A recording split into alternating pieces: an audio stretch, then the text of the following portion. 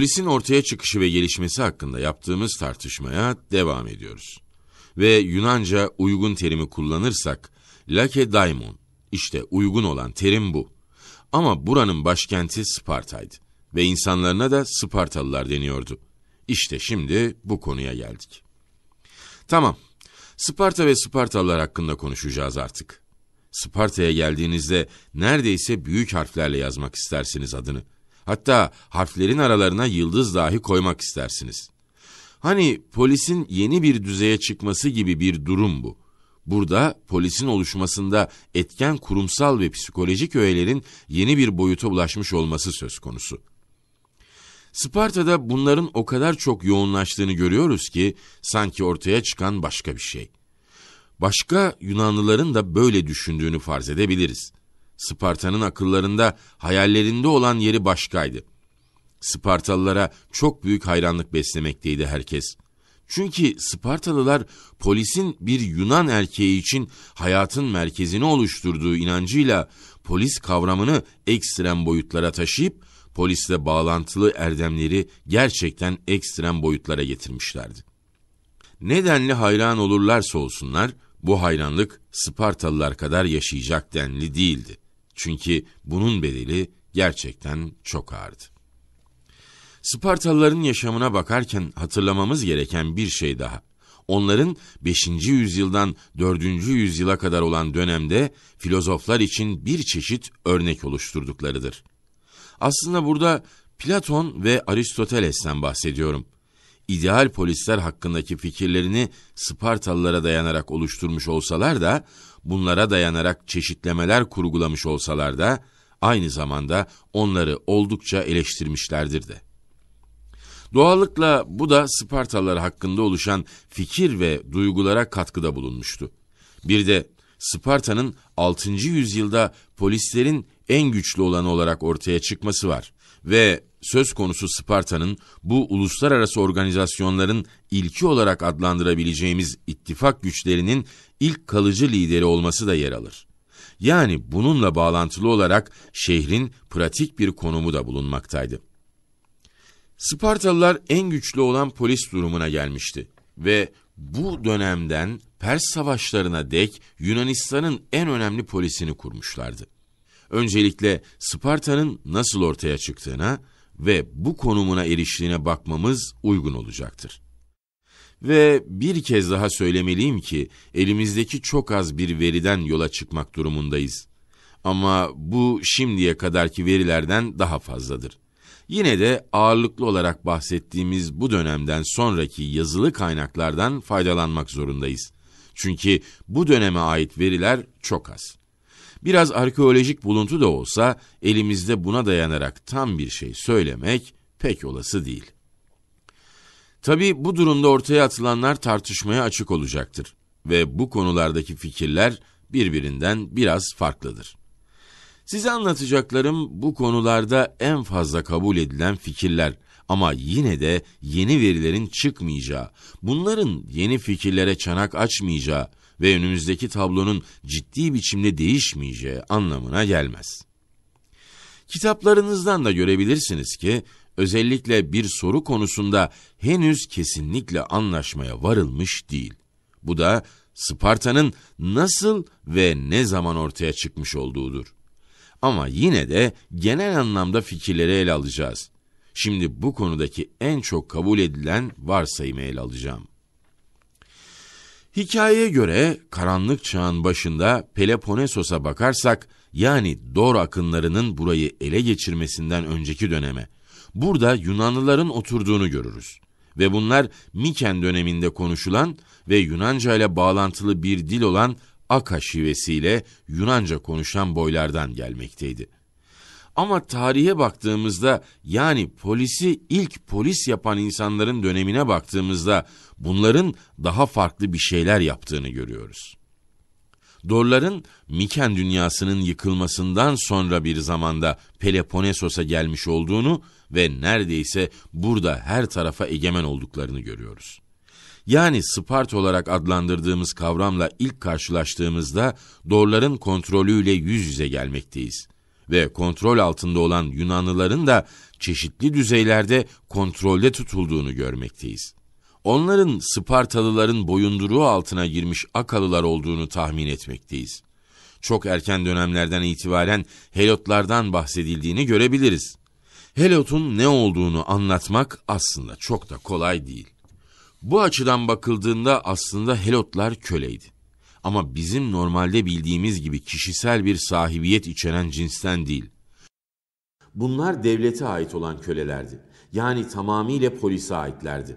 Ama bunların işlevine baktığımızda bunların devlete bağlı olarak çeşitli bölgelerde çalıştığını yani Sparta'daki Lakonya adı verilen bölgeye ait tarım arazilerine dağılmış olduklarını görmekteyiz. Devlet tarafından şu veya bu tarım alanına bağlanmış yani Spartalı vatandaşlara ait topraklara yollanmışlardı. Böylece bil fiil bazı Spartalı vatandaşların boyunduruğunda onlara ait topraklarda çalışıyorlardı ve sırf bu vatandaşlar için üretim yapıyordu Helotlar. Spartalıların tümü için değil. Bu durum biraz karmaşık olsa da Helotlar hikayemiz için önemli ve Sparta'yı Sparta yapanın ne olduğunu anlamamız için önemli olduklarını vurgulamak gerekir. Spartalıların adını ilk duymaya başladığımızdan itibaren aynı zamanda Lakonya'da da insanların yaşadığını duymaya başlıyoruz. Bunların bazıları Sparta civarlarında olsalar da Sparta şehri içinde yaşamıyorlardı ve bunlar Sparta'da yaşayan Spartalılar değillerdi. Bunlar belki de Dorlardı ama bundan emin değiliz tabii ki. Ama yine de bu bir olasılık. Sparta civarında yaşayan insanlara perioikoi deniliyordu. Terim Sparta'ya ait herhangi bir toprağa da içerebilirdi ama şehrin içini değil. Ayrıca göreceğiz ki bu insanlar özgürdü. Bunlar ne köleydi, ne serf, ne de helot. Her perioikoya ait kendisinin çalıştırdığı bir çiftlik vardı. Sparta'daki gibi ticaretle de uğraşabiliyordu perioikoylar. Oldukça kısıtlı çapta da olsa. Aynı zamanda endüstride de ki bu da çok kapsamlı değildi. Ama birisinin tunç ve demir üretiminde, seramik yapımında çalışması gerekiyordu. Bu kişiler de perioikoydu. Çünkü Spartalılar büyüyüp, gelişip devlet düzeyine geldiklerinde bu işlerle uğraşmak istemeyeceklerini görmekteyiz. Sparta, Sparta olduğunda Spartalılar bir tek şey yapıyor olacaklardı. Aslında bu doğru değil, iki şey yapıyor olacaklardı. Ya savaşıyor ya da savaşa hazırlanıyor olacaklardı. İşte bu onlar askerdi. Başka şey yapmıyorlardı. Hiçbir ekonomik işlevleri yoktu. Her şey her zaman böyle değildi. Size hikayeyi bugün modern yorumlara dayanarak anlamadan evvel ilk önce Yunanlı ve Spartalıların ne dediğini anlatmalıyım. Onlara göre çok eski bir zamanda Likurgos adında bir adam varmış. Bu adam Sparta'ya kanun getirmiş ve Sparta'ya 6. 5. yüzyıldan tanıdığımız rejimi ilk olarak o yerleştirmiş. Doğallıkla bunun tam tarihi hakkında günümüzde hala birçok yorum ve tartışma var. Ama eğer antik Yunan kaynaklarını ciddiye alırsak belki de bunlar 9. yüzyıla atıf yapıyorlardı. Bu zamandan sonra devamlılık görülmekteydi. Bugün ne bu tarih herkes tarafından kabullenilmekte ne de bu olayı araştırmacılar gerçekten ciddiye almakta ve değişikliklerin ne zaman olduğu konusunda hatta Likurgos aslında var mıydı, yok muydu ve ne zaman bu kanunları getirmişti soruları üzerine birçok insan tartışmaya devam etmektedir. 19. yüzyıldaki bir spektik tarihçi Lykurgos'un aslında insan olmadığını, bir tanrı olduğunu söyler. Yani bu onun Spartalılar tarafından uydurulmuş olduğu anlamına gelmektedir. Siz beni tanıyorsunuz. Ben baştan inanmayı yeğliyorum. Saflığa inanıyorum. Likurgos adında bir insan olduğuna inanıyorum. Bu da açık. Eğer böyle bir adam vardıysa bu adam bazı kanunlar çıkartmıştı ve bunlar Spartalılar için önem kazanmıştı. Ama tek bir adam tarafından çok eskiden bir sistemin kurulduğundan ki bu hiç değişmeyecekti, bundan tam emin değilim. Çünkü bunun tam tersini savunan veriler var elimizde. Değişiklikler olmuştu ve bunlar en azından Sparta'yı Sparta yapan değişikliklerdi. Bildiğimiz ilk tarihi olay ki Sparta hakkında bildiklerimizden bunun 8. yüzyılın sonlarına doğru olduğunu sanıyoruz. Belki 725 ve 700 yılları arasında bir savaş olur ve Spartalılar etraflarındaki toprakları Lakonya'nın batısına doğru Mikenay olarak adlandırılan yerleri ele geçirirler. Umarım bunları haritaya bakarak tanıyabiliyorsunuzdur. Yunan ve Peloponnesos coğrafyasında tanıyacak seviyede haritalardan bilgi edinmekte olduğunuzu umuyorum. Batıya baktığınızda burada bir çıkıntı yapan burun olduğunu göreceksiniz. Bu Peloponnesos'un en batı ucudur ve Sparta'nın hemen yanındaymış gibi gözüken Mikenay burada yer alır. Ama farkında olmanız gereken bir şey söz konusu. Bu da Sparta ve Mikena'yı birbirinden ayıran bir dağ sırasının olduğudur. Adı da Taygetus, sıra dağlarıdır. Bunlar çok görkemlidir. Sparta'ya giderseniz, şehre Sparta limanı Githium'dan yaklaşırsanız, sol tarafınızda baktığınızda hemen yanınızda çok görkemli ve gerçekten ciddi ve açık seçik bir bariyer oluşturan dağ sırasını görebilirsiniz. Gerçekten bu dağ sırası hafife alınacak gibi değildir. Bu da dağların bayağı geniş bir alana yayıldığını gösterir. Yani bu iki nokta birbirinden uzaktır. Dolayısıyla Mikena'ya giden bir Spartalı hemen batıya doğru gidemezdi. Önce kuzeye gidip sonra sola dönüp dağlarla karşılaştığında onların dibinden devam edip sonra aşağıya doğru dönmesi gerekiyordu. Bu Sparta'nın neden Sparta olduğunu açıklayan hikayenin çok önemli bir parçasıdır aslında. Miken Savaşı adı verilen ve Spartalıların burayı istilasıyla biten savaşın sonucu aslında çok önemlidir. Çünkü artık burayı Spartalılar ele geçirmiş ve büyük bir insan kitlesini Helot konumuna sokmuş olacaklardır. Bunlar Sparta etrafında yaşayan ve Spartalıların erken dönemlerde Helot durumuna soktukları başka insanlar gibi olmayacaklardır. Bu insanlar kendilerini bilen ve Mikenli olarak gören insanlardı.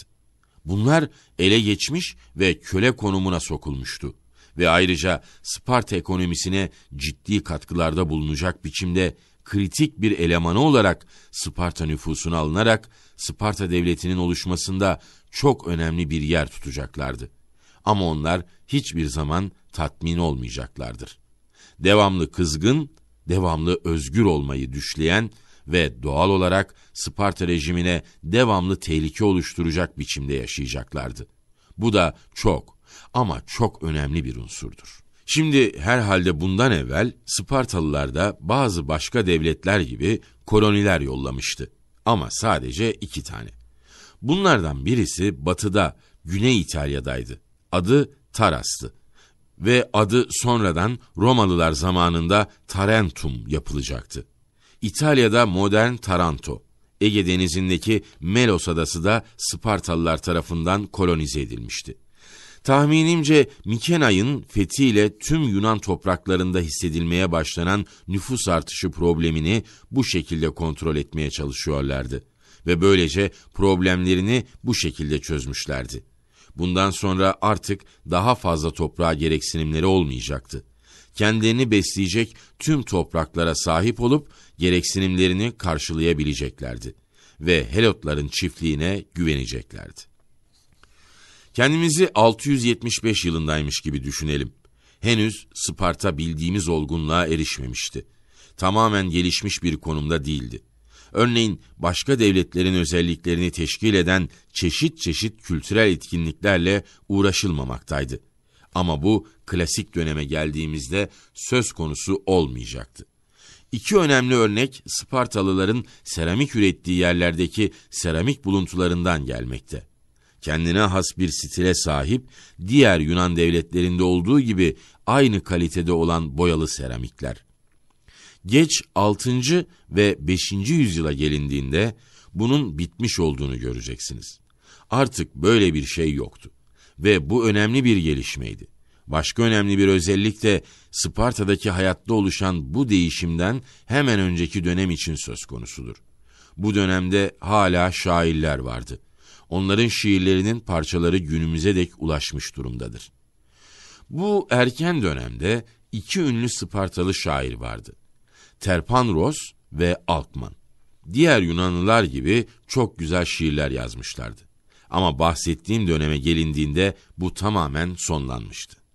Bundan sonra Sparta'da farklılık yaratan en önemli tarihi olay 2. Miken Savaşı'dır. Bu yaklaşık 650 ve 625 yıllar arasında bir zamanda olmalıydı. Her seferinde dikkat edin hem birinci hem ikinci savaşta da savaşlar tam bir çeyrek asır sürmüştür. Bunu algılamak gerçekten çok önemli. Bunlar daha sonraki yıllardan bildiğimiz tipik Yunan savaşları gibi değildir. Bu böyle bir gün süren çarpışmadan sonra eve dönülen cinsten değildir. Bu bir nesil süren bir savaş seferiydi. Mikena'yı ele geçirmek bu denli güç olmuştur ve bir de bunu takiben ikinci Miken Savaşı olmuştur. Bu da Helot baş kaldırmasıydı. Sparta'nın bazı komşularından destek almışlardı. Helotlar yarattıkları zorluklar konusunda bu denli başarılı olamazlardı. Hatırlarsınız, Argos, Fidyon zamanından beri Spartalıların düşmanı ve rakibiydi.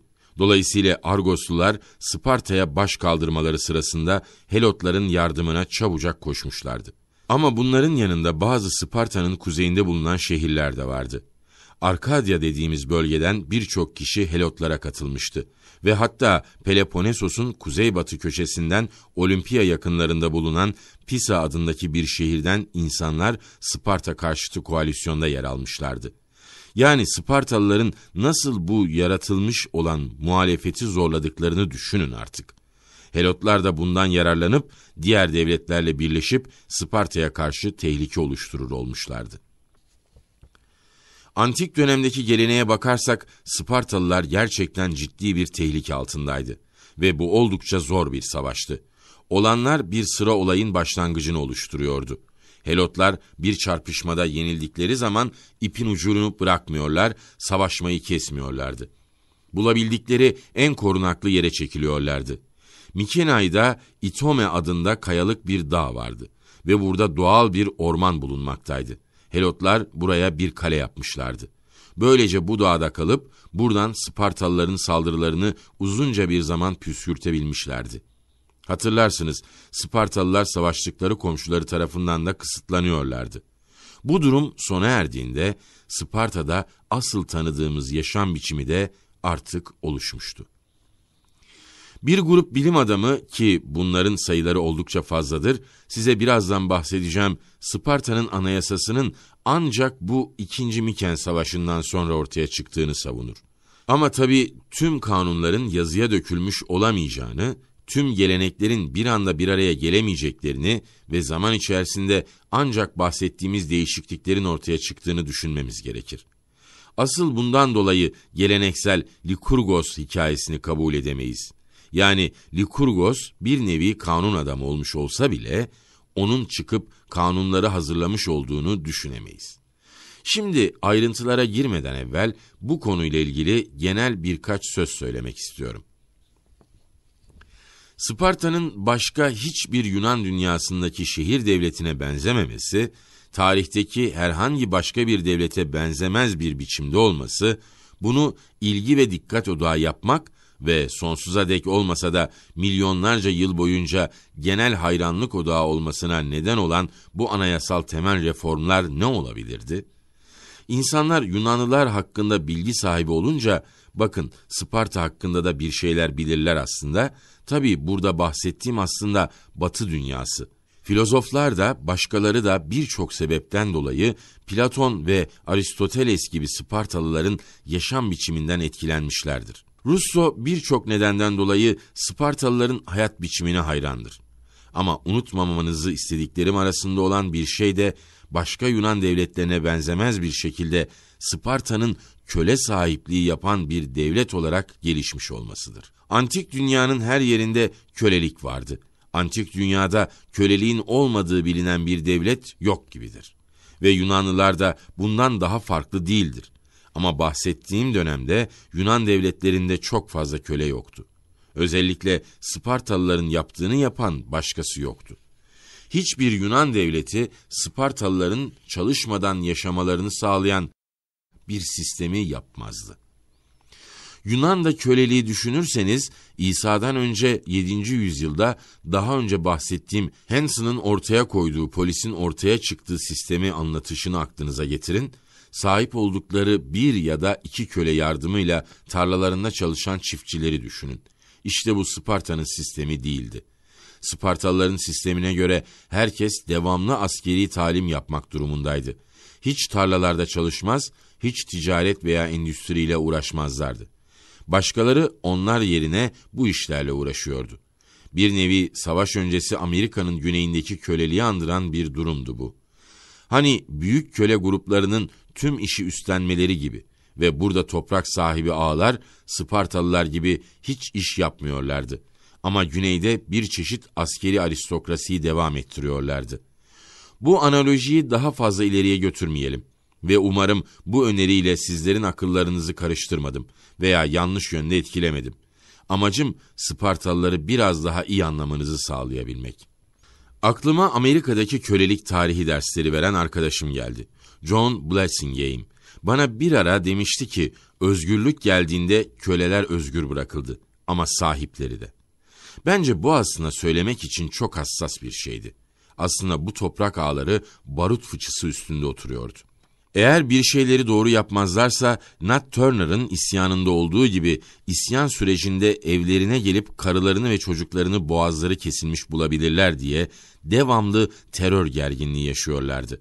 Devamlı bir terör halindeydiler ve hayatlarını birçok istemedikleri şeyi yapmak zorunda olarak yaşamak durumundaydılar. Bunların içinde tabii onlara dayanarak hayatta kaldıkları köle nüfusunu da bastırmak vardı. Ben bunu size anlatmak istemiştim aslında. Spartalılar 2. Miken Savaşı'ndan sonra devamlı korku içerisindeydi. Helotların isyanıyla bağlantılı olan korkunun varlığını vurgulamak durumu abartı olmaz.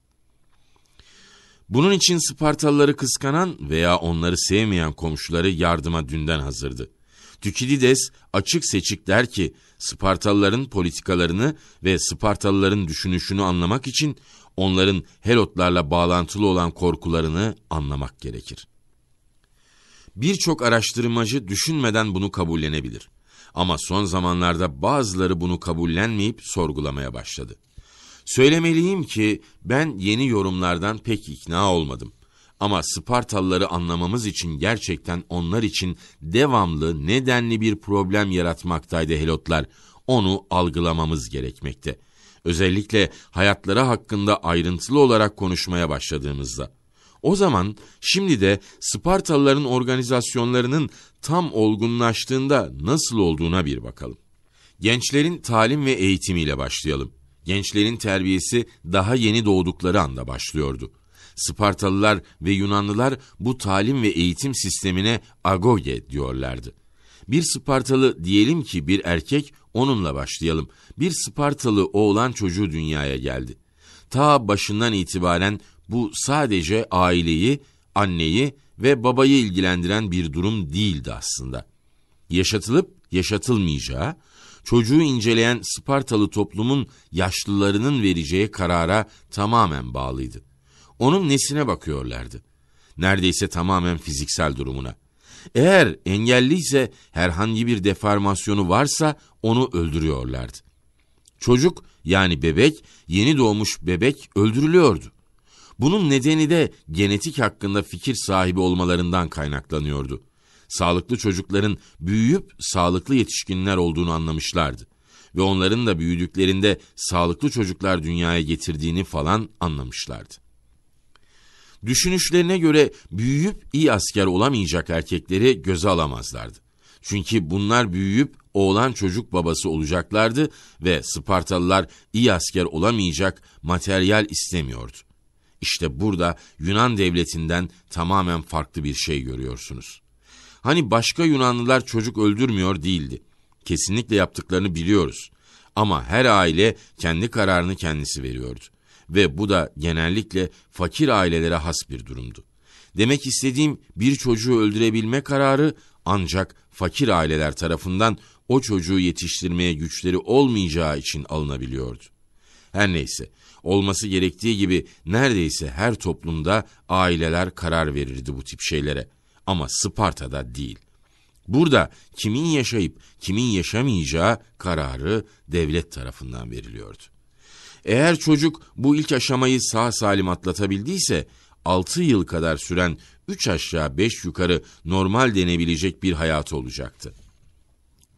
Her küçük oğlan çocuğu gibi çoğunlukla annesiyle evde yaşayacaktı. Ama az da olsa babasıyla da. Neden az da olsa dediğimi birazdan anlayacaksınız. 7 yaşına geldiğinde her çocuk evinden alınıyordu ve Yunanca'da sürü anlamına gelen izciler sürü gibi ufak gruplar oluşturmuyordu, değil mi?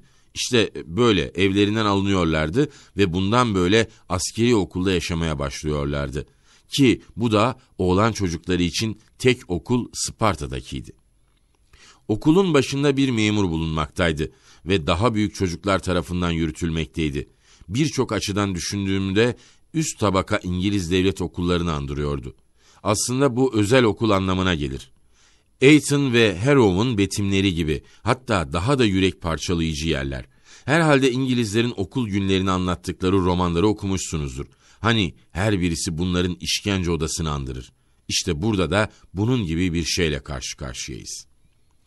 Ama bu okulların en kötü yanı anladığım kadarıyla diğer oğlan çocuklarıydı. Çünkü büyük çocukların küçük çocuklarla büyük çocukların küçüklerle uğraştığı gibi uğraşmasına izin veriliyordu. Yani kötü olarak. Çok kabaydılar. Küçükleri itip kakıyorlardı. Kötü davranıyorlardı.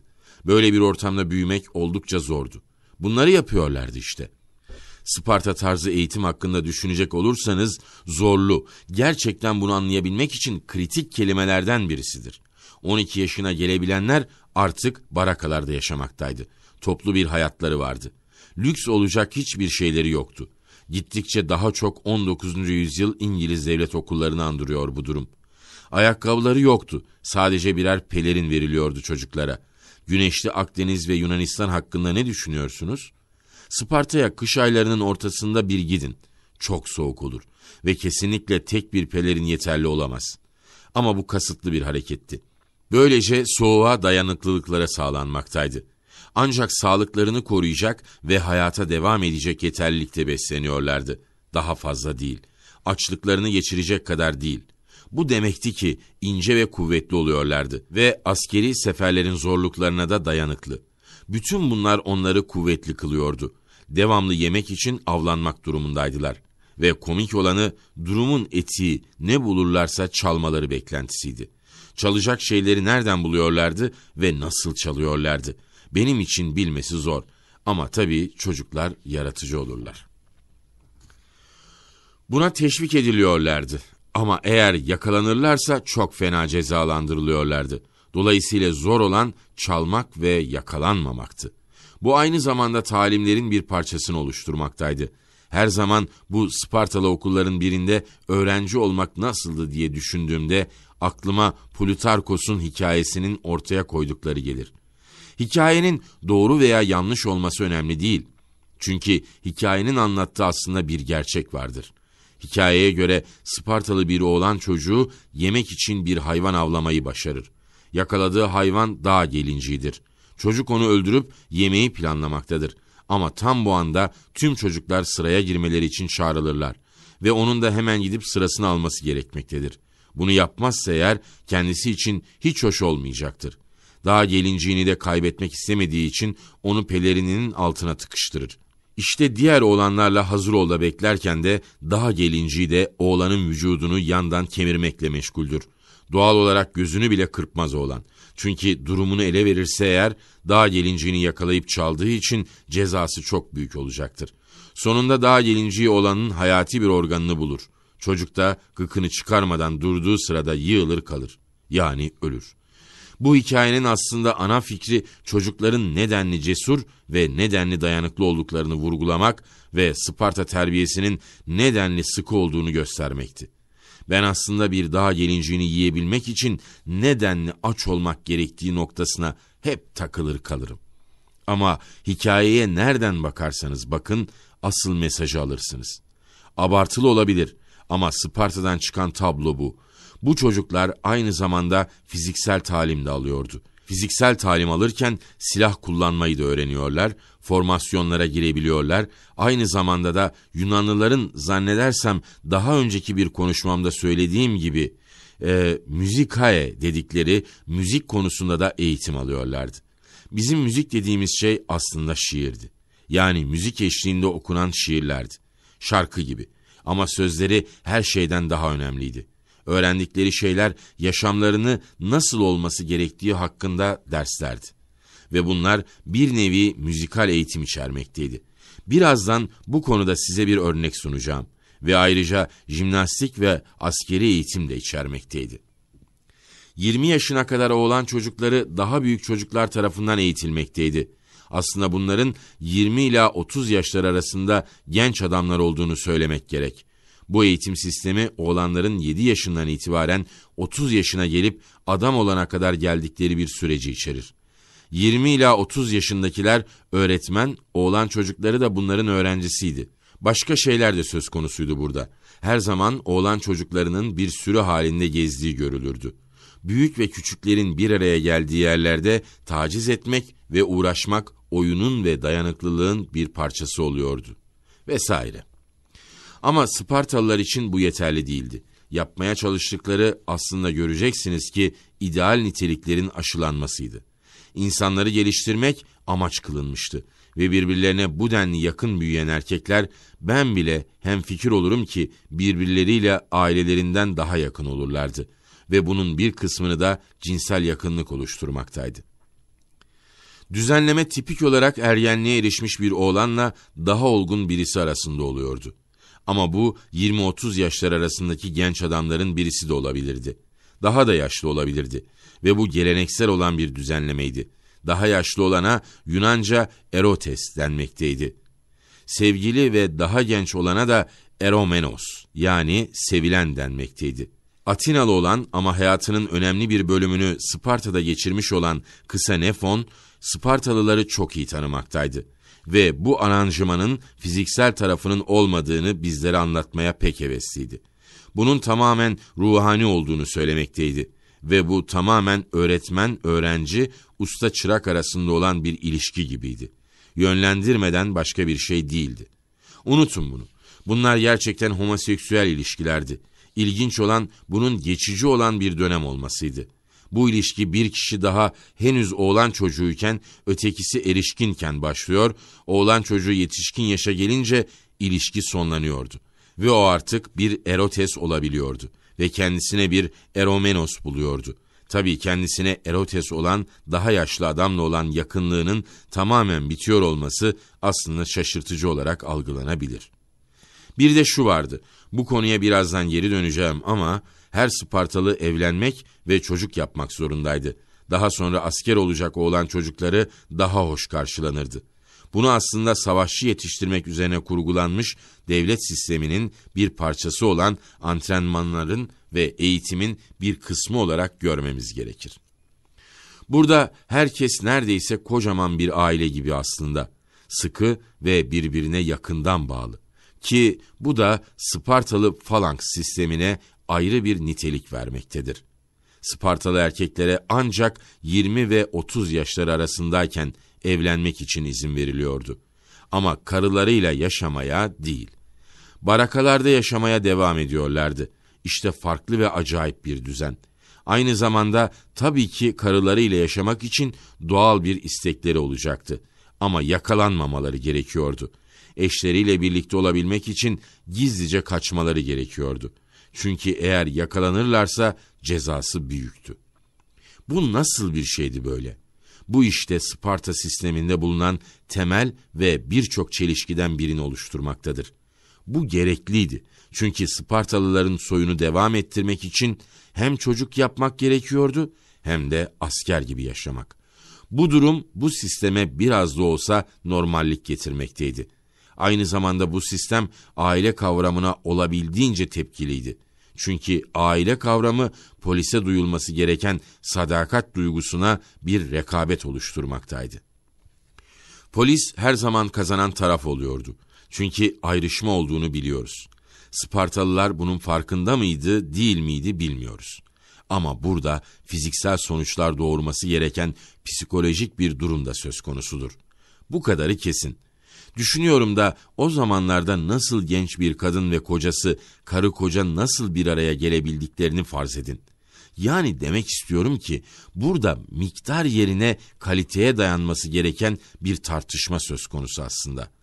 Her neyse bunlar aslında acayip düzenlerdi. Hani bir genç adam 30 yaşına geldiğinde artık okulda hocalık konumuna son vermesi gerekiyordu. Evi vardı, evinde karısıyla oturabiliyordu. Eğer 7 yaşından küçük oğulları da varsa onlar da onunla evinde oturuyordu. Durum işte normale benziyor. Ama bu adamların hiçbirisi eve akşam yemeğine gelmiyordu. Erkekler yemeklerini topluca gruplar halinde yiyorlardı. Bu grupların her birine siston deniyordu. Bu yemekleri buğdayı, ekmeği hepsini hep birlikte yemek anlamına gelmekteydi. Bu sisitiyaların her birinde 15 kişi bulunurdu. Bu insanlar yemeklerini ölene kadar birlikte yiyorlardı. Burada yine çok sıkı bir toplum dokusuyla karşı karşıyayız. Nasıldı bu? Örneğin bir askeri tim gibi değil mi? E, ya da bir bölük. Aslında bir bölük kadar neredeyse sayıları.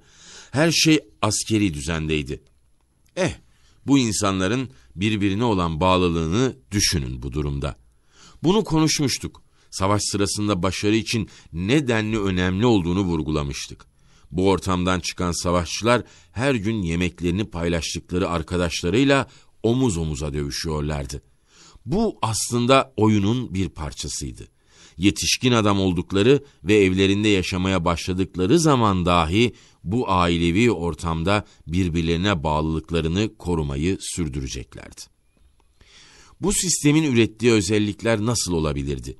İlk başta ve en başta disiplin. Hayatın her yönü toplumun ürettiği kanunlarla ve geleneklerle kontrol edilmekteydi. Bunlara uymazlık edemezdiniz. Yoksa size kalan hiçbir şey olmazdı. Acayip de olsa çalıp çırpmaya ve yakalanmamaya teşvik. İnsanların kendi kendilerine yetme kapasitelerine katkıda bulunuyordu ve bu tip şeylere de teşvikte bulunuyordu. Sosyal bağlılık. Bu amaç için bu nitelikte bir sosyal sistem kurgulamak kimin aklına gelirdi? Birbirine sadakat, hangi grup hakkında konuşuyor olursak olalım. Ama tabii ki bütün bunların temelinde içinde yatan aslında tümden topluma olan sadakatti. Kendi üstlerinizdekilere itaatkar fiziksel ve ruhsal dayanıklılıktı. Cesaret ve diğer bir özellik de önemliydi. Bu Yunanlılar için çok güçlü ve önemli bir özellikti. Bu da tek güzellikti. Herkes birbiri gibi olmalıydı. Herkes aynı deneyimleri yaşamalıydı. İnsanlar arasında herhangi bir farklılık olmamalıydı. Bir başka taraftan da ki bu da Sparta'daki sistemde bulunan enteresan çelişkilerden birisini daha oluşturmaktaydı. Bu oğlanların, genç adamların ve yetişkinlerin hepsi onur için birbiriyle yarışmaktaydı. Her bir kişi kendisinin yandaşları ve üstleri tarafından diğer herkesten daha iyi olarak tanınmayı, hatta en iyi olarak tanınmayı arzu etmekteydi. Bunların hepsi arkadaştı. Yandaş, çok yakın dosttu. Bunların hepsi birbirine yakın ve bir grubun parçaları oldukları halde birbirleriyle grup içerisinde kişisel takdir ve onur için yarış halindeydiler. Bu da temelden bir çelişki oluşturmaktaydı. İlginç bir çaba. Tahminimce biliyorsunuzdur, Spartalıların hayatları gerginlik üzerine kurgulanmıştı. Bana göre toplumların insanlar üzerinde yarattıklarından çok daha fazlaydı bu. Ama o kadar etkin bir biçimde organize olunmuştu ki yürüyordu. Elimizde toplu delirme veya psikologlara gereksinim konularında hiçbir veri olmadığına göre durum iyiydi. Deli olsaydı toplum hepsi birden aynı şekilde deli olduğundan farkında bile olmazlardı. Bu unsuru akılda tutalım.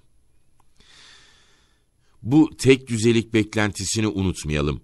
Birbirlerine, kendilerine, özellikle tam vatandaş olmuşlara, yetişkinlere homoyoy olarak hitap ediyorlardı. Bazı insanlar bunu eşit anlamında çevirmektedir. Ama hayır, bu doğru değil. Aslında benzer anlamına gelir. Birbirlerine benzediklerini vurgular.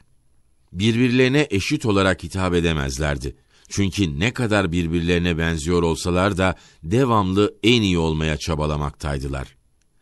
Hikayeye göre Likurgos sistemi kurduğu zaman Spartalılar tarafından kontrol edilen toprakları 9000 parçaya ayrılmıştı. Bunun için Yunanca kelime kleroi, tekil olarak da kleros'tu. Bu teoride kalan bir durumdu aslında. Ekonomik olarak hepsi eşit sayılıyordu. Çünkü hepsi birer kleros sahibiydi. Ve bu klerostan gelecek besin ve üretilenlerle uğraşmak durumundaydı. Ve tabii her klerosta üretilen ürünlerin miktarı da burada söz konusu olmak durumundaydı. Tüm bu kuramda kalan benzerlik ve sözde eşitliğin yanı sıra yaş da Spartalılarda ayrım konusunda önemli bir yer tutmaktaydı. Ki birçok ilkel toplumda da bu böyledir.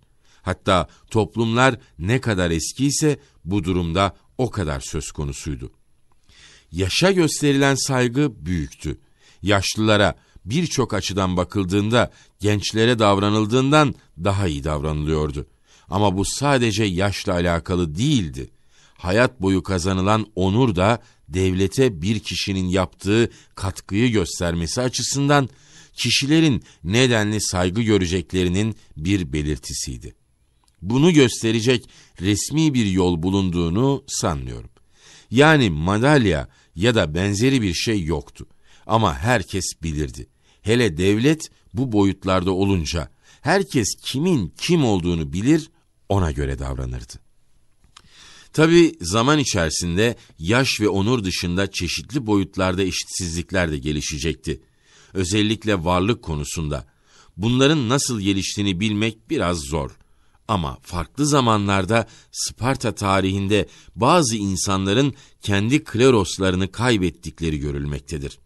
Ve klerosunuz yoksa Sisitiona'da yani yemek grubunuza da yapmanız gereken katkıyı sağlayacak kaynağınız da yok demektir.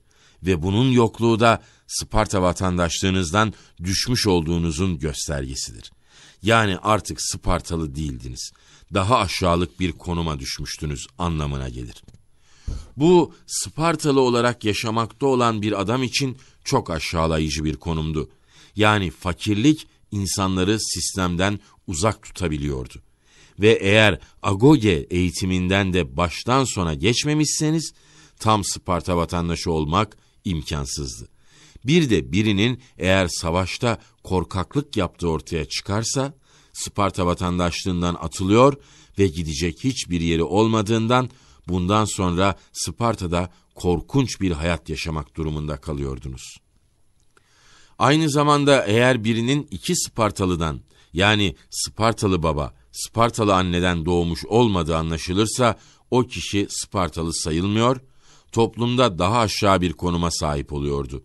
Bu denli onur ve saygı üzerine kurulu bir toplumda tahmin edersiniz bu nedenli büyük bir şeydi. Derste ilerlemeye devam ettikçe bunu aklınızın bir köşesinde tutun. Çünkü özellikle 5. yüzyıla geldiğimizde bu kategorilere giren Spartalılara da rastlayacağız. Yani bunlar yüzde yüz Spartalı değildir. Ama yine de çok önem kazanacaklardır.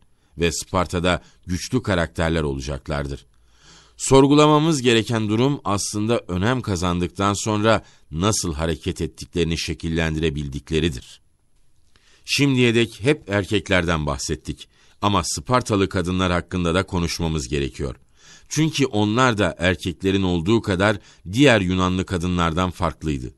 Bunu açıklayacak olursak diğer Yunanlıların kadınlara diğer erkeklere davrandıklarından çok farklı davrandıkları ortadaydı. Çarpıcı olan ve farklı şeylerden birisi de erkeklerin fiziksel egzersiz yapıyor olduklarıdır. Hatta büyük yarışmaların parçası olan rekabetlere katılıyorlardı. Ve de bunları yaparken çıplaklardı. Kadınlar sportif etkinliklere katılmıyordu ve bir kadının çıplak görülmesi olabilecek en utanç verici durumlardan birisini oluşturmaktaydı. Normal Yunanlılar için kesinlikle düşünülemez bir durumdu bu. Ama Spartalılar her şeyi kendilerine göre yapıyorlardı. ve kadınları da danslara, atletik yarışmalara katılıyordu. Hatta yarışmalarda onlar da oğlanlar gibi çıplaktı. Böylece oğlanlardan Yunan kızlarının uzak tutulduğu gibi devamlı uzak tutulmuş olmuyorlardı. Bu bir araya gelebildiklerinin toplumsal bir göstergesi değildi ama eğer oğlanlar bir yerde egzersiz yapıyorlarsa kızlar da orada ya da başka bir yerde egzersiz yapabiliyordu. Birbirlerinden o kadar da uzak tutulmuyorlardı. Ve yine düşünün, insanların normal olarak arzuladığı şeyleri düşünün. Bu bahsettiklerimden nasıl 20 yaşına gelene kadar birçok şeyi yapmayan gençler için bunun ne kadar heyecan verici olabileceğini bir düşünün. Bütün bunlar bana Taylor'ın yazmış olduğu 1914-1945 yıllar arasında İngiliz tarihini anlatan kitabındaki etkili bir dipnotu anımsatır. Yazar burada geç 19. yüzyıl ve erken 20. yüzyılda İngiltere'deki doğum oranının düşüşünden bahsederken, bunun aslında hamilelikten korunma yolları konusunda bilginin artmasıyla bağlantılı olmadığını söyler. Ve sonuçta bu dönem İngiltere'sini çalışan herkesin aslında nedenli yıldırılmış bir grupla karşı karşıya olduklarını bildiklerini de vurgular. Eğer bu İngilizler için doğruysa genç bir adam ya da kadın olarak Sparta'daki hayatı düşünün. Bir tarafta Sparta'da başka yerlerde erkeklerin gördüğü muamele gibi muamele gören kadınlar vardı. Ve bunların tabii başka yerlerdekine göre daha fazla hukuki hakları da bulunmaktaydı. Bence bütün bunlar Yunan dünyasındaki aile kavramına aşındırmakta önemli bir rol oynuyordu ve ataerkil erkek merkezli savaşçı yetiştirmek üzere kurulmuş bir toplumsal sistemi ön plana çıkartıyordu. Neden ama kadınlara da özel bir saygınlık verilmişti? Çünkü savaşçı yetiştirmekte kadınların nedenli kritik bir rol oynadıkları ve bunun nedenli önemli olduğu anlaşıldığı için. Bunun bir parçası da her şeyin polis için olduğu ve iyi çarpışacak savaşçıların yetiştirilebilmesi olmalıydı kadınların bir nevi grup olarak hakları bulunmaktaydı. Örneğin eğer bir adam karısının çocuk yapamadığını anlarsa yasal ve haklı olarak ve bu bir erkek için doğaldı, arkadaşı karısını bu adama ödünç verebiliyordu. Ve bu ilişkiden doğacak çocuk da çocuğu olmayan adamın oluyordu. Düşünün yine. Diyorum ki bu durumda insanların birbirine duydukları tüm normal duygular ne oluyor? ve neredeyse tüm toplumlarda merkezi rolü olan aile kavramına burada ne oluyor? Bir başka deyişle kadınların Sparta toplumunda erkeklere eşit olan bir rolleri olduğunu düşünmemeliyiz. Yunan dünyasının herhangi bir kısmındaki gibi kadınlar politik hayatın tamamen dışında bırakılıyordu. Ama yine de birçok çelişkili şey ortadaydı. Şimdi size bundan sonra anlatmak istediklerime geçelim. Sparta'da yapılan evlilik töreni size acayip bir şey gösterecektir. İlk önce bunların hepsi bir ritüel, etkinlik ve siz evleneceğiniz kızı ritüelle seçiyorsunuz. Kısaca evleneceğiniz kızı yakalayınca o sizin oluyor. Ve böylece temel olan aile kurma olayı kızı yakalayınca yapılmış, bitirilmiş oluyor. Evlilik töreninin sırasında da kızların kafası kazınıyor ve erkek gibi giydiriliyor. Karanlık bir odada kocasının gelmesini bekliyor. Bana sorarsanız kızları evlilik töreninin tamamlanmasına kadar olabildiğince erkek gibi yapmaya çalışıyorlardı. Benim yorumum ne olursa olsun size bahsettiğim bu dünyanın bu denli acayip olduğunu kabullenmeniz gerekmekte. Tahmin edersiniz ki bütün bunların etkisi büyük olmuştu. Bir şey daha, kadınlar hakkında size son söylemek istediğim şey ve henüz anlatmadığım bir yön daha var. Perikles cenaze söylevini şunu söyleyerek bitirmişti. Der ki, Spartalı kadın anne olunca yeni ölen bu müthiş adamların karıları ve anaları gibi konuşmayı bırakır ve evine geri döner. Çünkü bir kadın için söylenecek en yüce şey iyilikte ve kötülükte hiçbir zaman konuşmamasıdır. Burada demokratik Atina'dan bahsediyoruz. Kimse Spartalı bir kadına ağzını kapatmasını söylememiştir. Çünkü Yunan edebiyatı Spartalı kadınların söyledikleriyle doludur. Oğullarına savaşa gitmelerini ve kalkanları ya ellerinde olarak ya da kendileri kalkanları üstünde yatarak dönmelerini söylerler. Kalkanlar nasıldı biliyor musunuz? Onları insanların ne ile taşıyabiliyordunuz? Hani sedyeler gibi. Yani bir ananın mesajı geri dön. Ama elinden kalkanını bırakırsan ve kaçarsan eve geri dönme. Ve bununla ilgili bir sürü hikaye dolaşmaktaydı. İşte Spartalı kadınlar. Bir tane daha anlatayım. Bir seferinde Sparta'nın tarihinde her şeyin kötüye gitmeye başladığında geç bir dönemde Sparta'ya düşman ordu girer. Kadınlar evlerin çatılarındadır. Buradan düşman orduya çatı kiremitleri, sivri şeyler atmaktadırlar. Yani Spartalı kadınlar farklıydı. İşte böyleydi bunlar. Ama tüm tabloya bakarsanız bu nasıldı aslında? Bana sorarsanız polisin önemi ve bütünlüğü adına ailenin soysuzlaşması, gereksinimler ve yapısıdır. Bu aslında savaşçı etiği, Hoblit Phalanx prensibine dayanmaktadır. Size şimdi Spartalı şair Tirtaus'tan bir şiir okumak istiyorum. 7. yüzyıla tarihleniyor ve bahsettiğim konuların bir kısmına güzel değiniyor. Şöyle, bir adam hakkında bir şey söyleyemem. Ne ayaklarının hızından onu ciddiye alırım ne de güreş becerisinden. Bir kiklop boyunda dahi olsa ve bir de o kadar gücü. Kuzey rüzgarı Boreas'ı koşarak geçse. Titonius'tan daha yakışıklı ve zarif olsa ya da Midas'tan da Kenaryus'tan da zengin. Tantalos veya Pelops'tan daha bile kral olsa ya da Adrastas'ın da konuşma ve ikna gücüne sahip olsa. Aslında bu satırlar insanların hayran oldukları ve kendilerinde de olmasını istedikleri Homeros'ta önemli gördükleri özelliklerin bir listesidir. Bunlar bir kahramanın isteyebileceği tüm karakteristikler ve diyor ki, Tirtaus'un bir insan için söyleyebileceği şeylerin hiçbiri umrunda değil diyor. Pardon, önemli bir satır atlamışım. Bunların hiçbiri umurumda değil. Tüm bu görkem de olsa, eğer savaşçı ruhu yoksa, hiçbir adam kendisini savaşta iyi olarak gösteremez. Hele eğer kanla ve katliamla karşılaşmayı, düşmana yaklaşmayı ve onunla elleriyle çarpışmayı beceremezse. İşte arete, benim çevirmenim cesaret olarak çevirmiş ki doğru, aslında bu onun en temel olan anlamı. Ama her neyse arete kelimesi, insanoğlunun sahip olduğu en hassas şey, genç bir adamın kazanabileceği en asil ödül. Bir adam ayaklarını yere basıp uçan okların arasında dimdik ayakta dururken tüm şehriyle ve insanlarıyla paylaşıyor olması çok güzel. İşte burada kendi cesaretini savaşta kanıtlamış bir adam. Kaçış tamamen unutulmuş ve kalbinden kararlı ve dayanıklı olmaya talimli ve kelimelerle yanında duran adamı cesaretlendiren.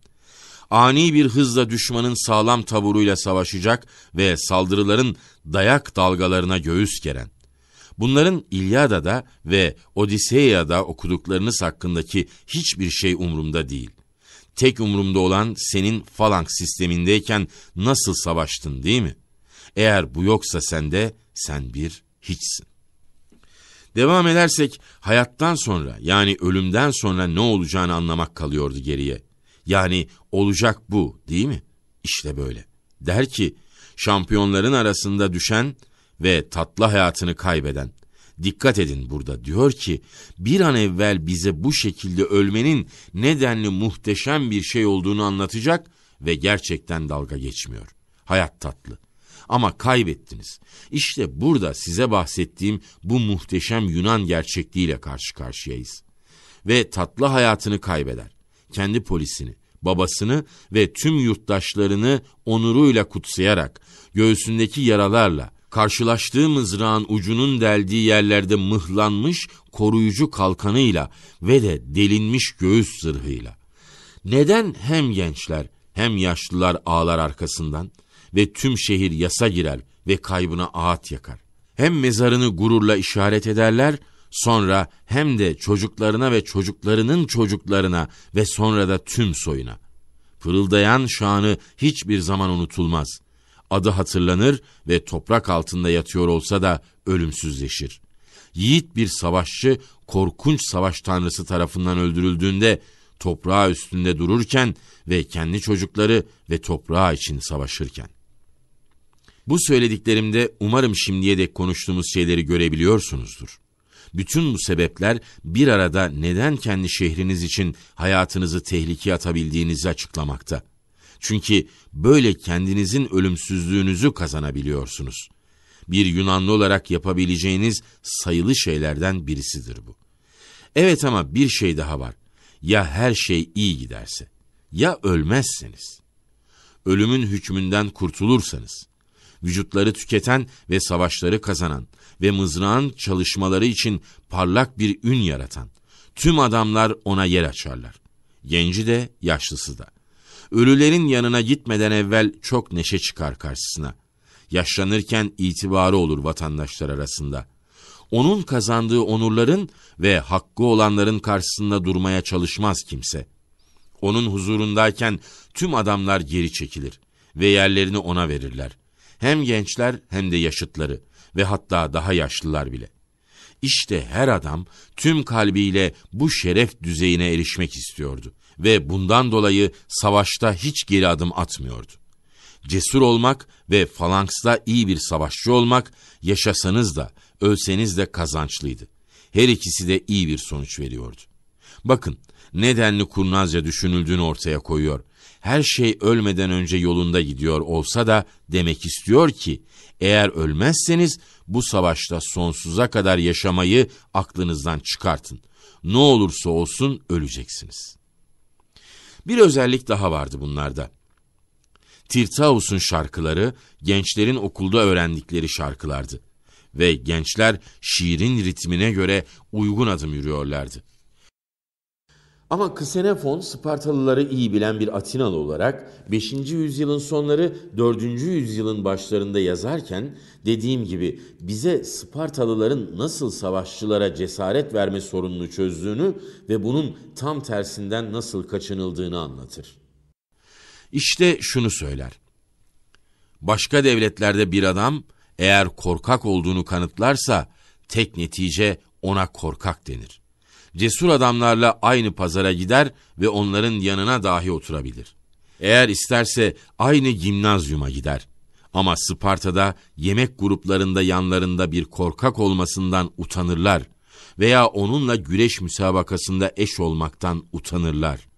Genellikle bir top oyunu sırasında gruplar ayrılırken o tek başına kalan kişi olur. Koroda ise küçültücü bir şekilde kenara itilir. Sokaklarda yer kaplıyorsa yerinden edilir. Hatta yerini kendisinden daha gençlere dahi vermek durumundadır. Evde kalmış akrabalarına bakmak zorundadır ve onlara neden onun yüzünden yaşlı kadınlar haline geldiklerini açıklamak durumundadır. Kimse bir korkağın kardeşiyle evlenmez. Hayal edin. Kız kardeşinizle her gün evde karşılaşıyorsunuz ve o size her bakışında neden sizin yüzünüzden hiçbir zaman bir koca sahibi olamayacağını düşünüyor olacak. Ocak başında bir karısı olmadan yaşamaya alışması gerekiyor. Çünkü kim evlenir böyle bir adamla? Cezasını çekiyor. Yüzünde gülümsemeyle etrafta dolaşamıyor. Eğer suratında bir gülümsemeyle dolaşırsa biri kesin bunu bir yumrukla silecektir. Eğer lekesiz bir üne sahipmiş gibi davranmazsa kendinden daha iyiler tarafından atılacak dayağa razı olması gerekir. Zannedersem Ksenofon der ki, bir korkağın sırtına yüklenen şerefsizliğin yüküne akıl erdirilemez. Ölüm bu denli yüz karası, bu denli aşağılayıcı bir hayattan daha makbuldür. Doğruyu söylemek gerekirse bence Ksenofon biraz abartıyor. Eminim herhangi bir Yunan şehrinde bu denli korkak davrandıktan sonra eve dönmek sevimsiz olacaktır. Ama eğer Sparta hakkında konuşursak herhalde bu denli çekilmez olmazdı. Evet, hala biraz vaktimiz var. Şimdi devlet kavramını kelimenin günümüzdeki anlaşılan açısından ele alalım. Yunan hayatında bu benzersizdi. Formu karışıktı. Demokrasi de değildi, monarşi de. Oligarşi de, hatta aristokrasi de değildi. Ama bunların her birinin normal formasyonundan öğeler taşımaktaydı. Krallar vardı. Çoğul kullanmama dikkat edin. Çünkü herhangi bir zaman her biri farklı bir kraliyet ailesinden olan iki kral olabiliyordu. Bu kralların dini sorumlulukları vardı. Sparta ordusuna burası çok önemli, general olarak liderlik yapıyorlardı.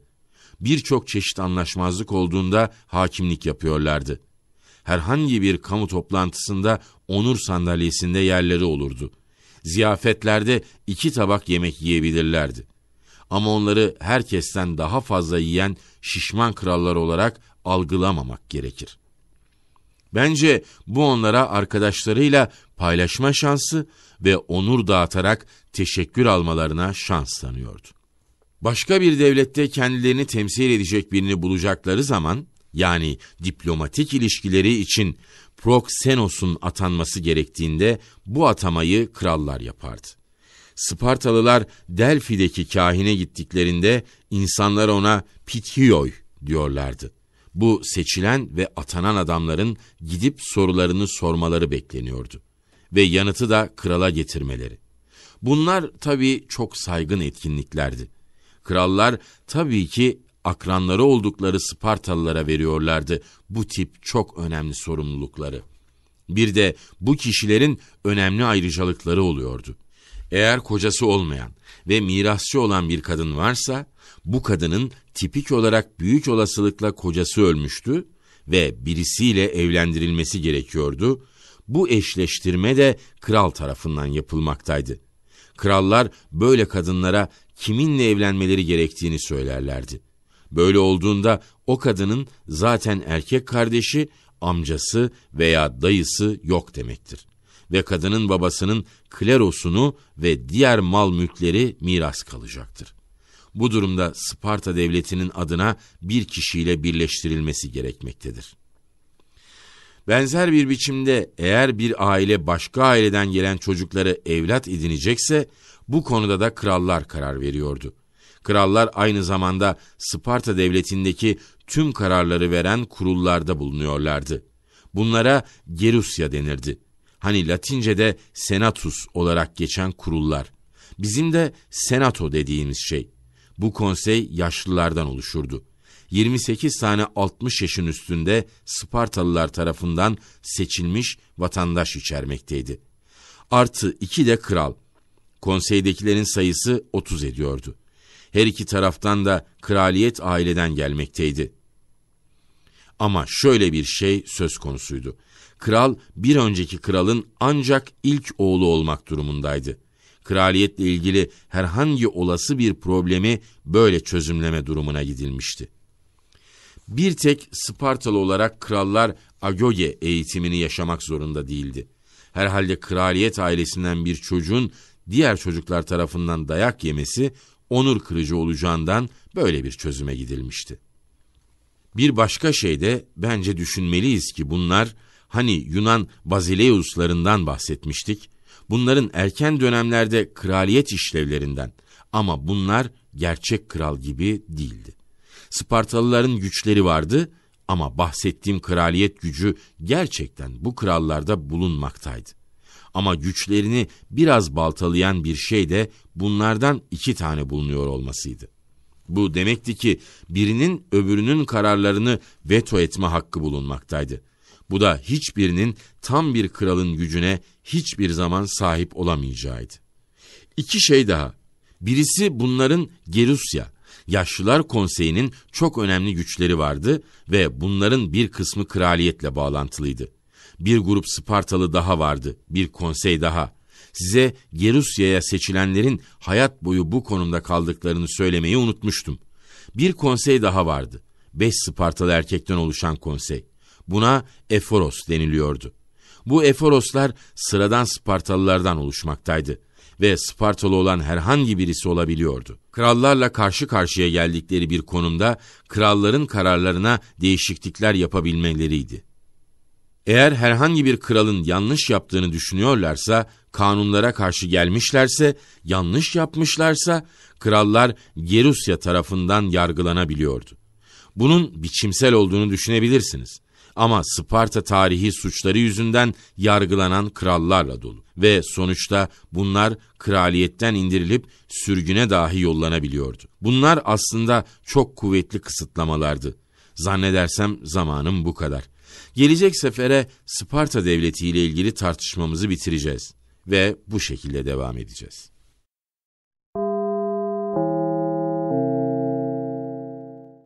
İkinci ders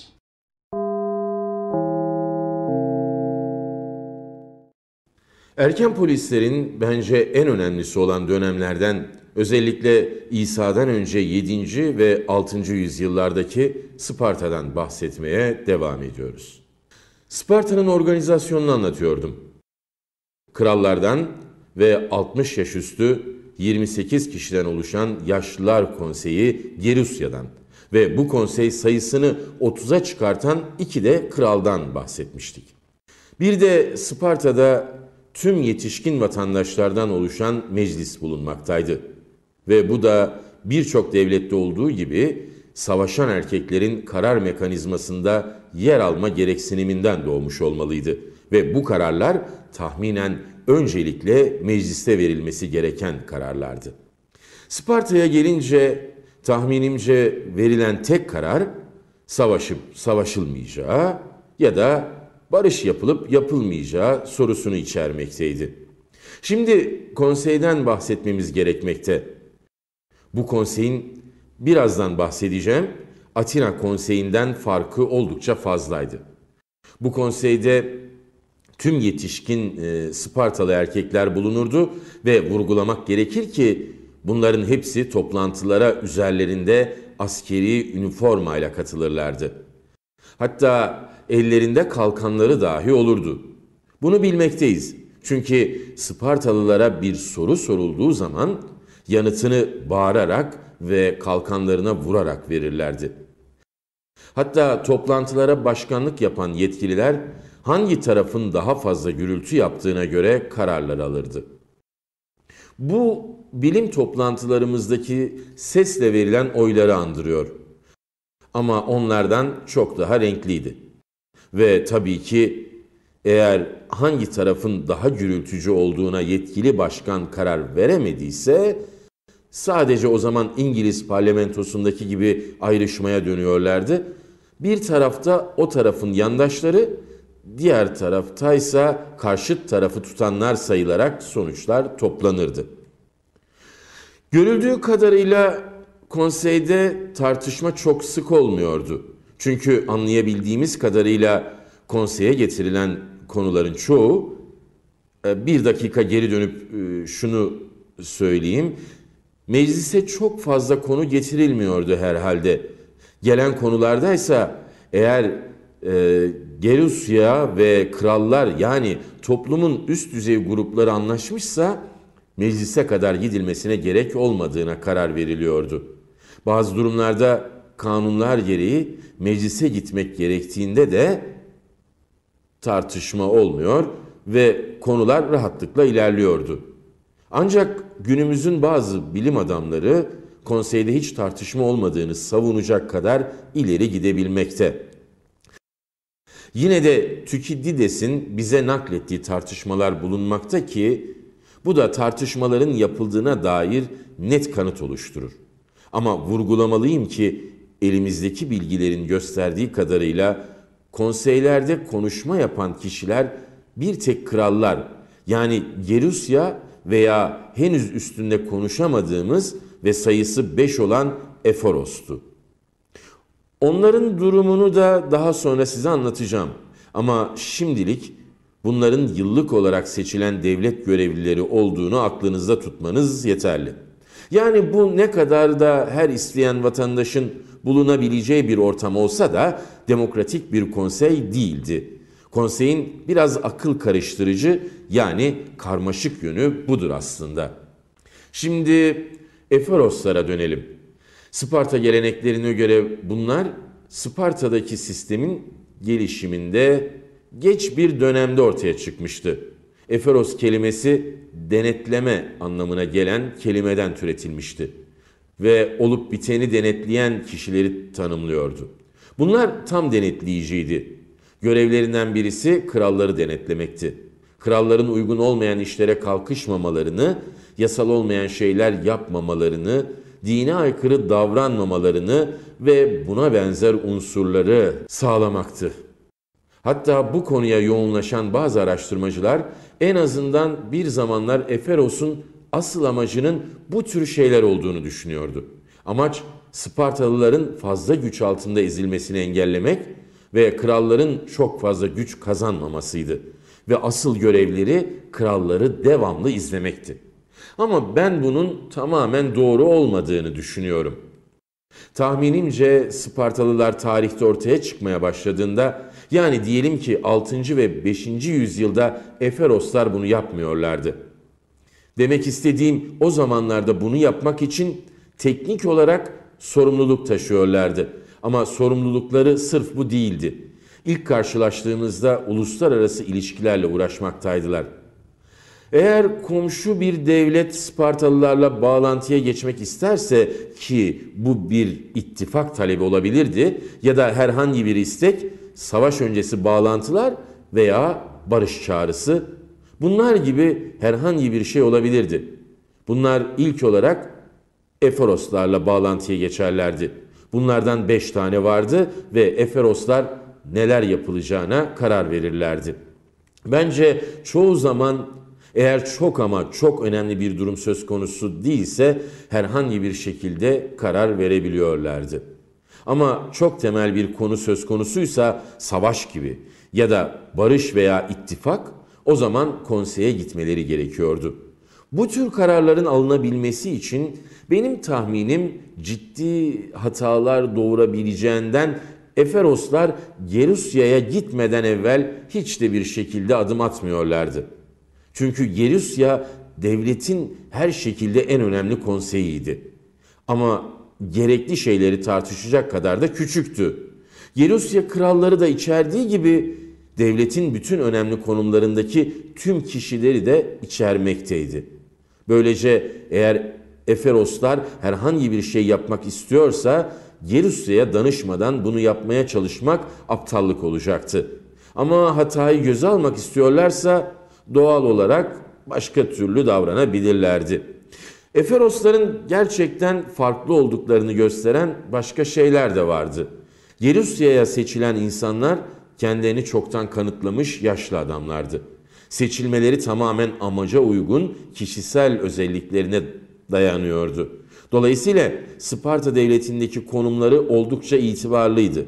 Ama Eferoslara baktığımızda bunun tam doğru olmadığını görüyoruz.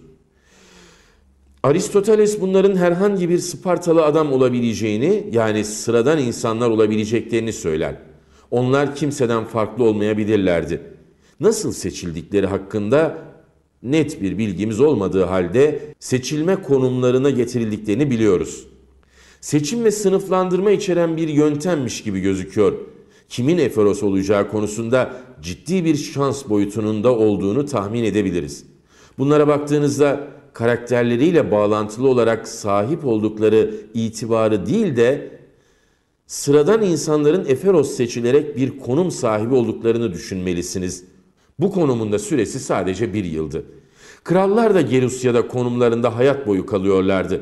Tahminimce konseydekiler de hayat boyu konumlarını koruyordu. Ama Eferos sadece bir yıl Eferos olabiliyordu. Hayat boyu sadece bir kez.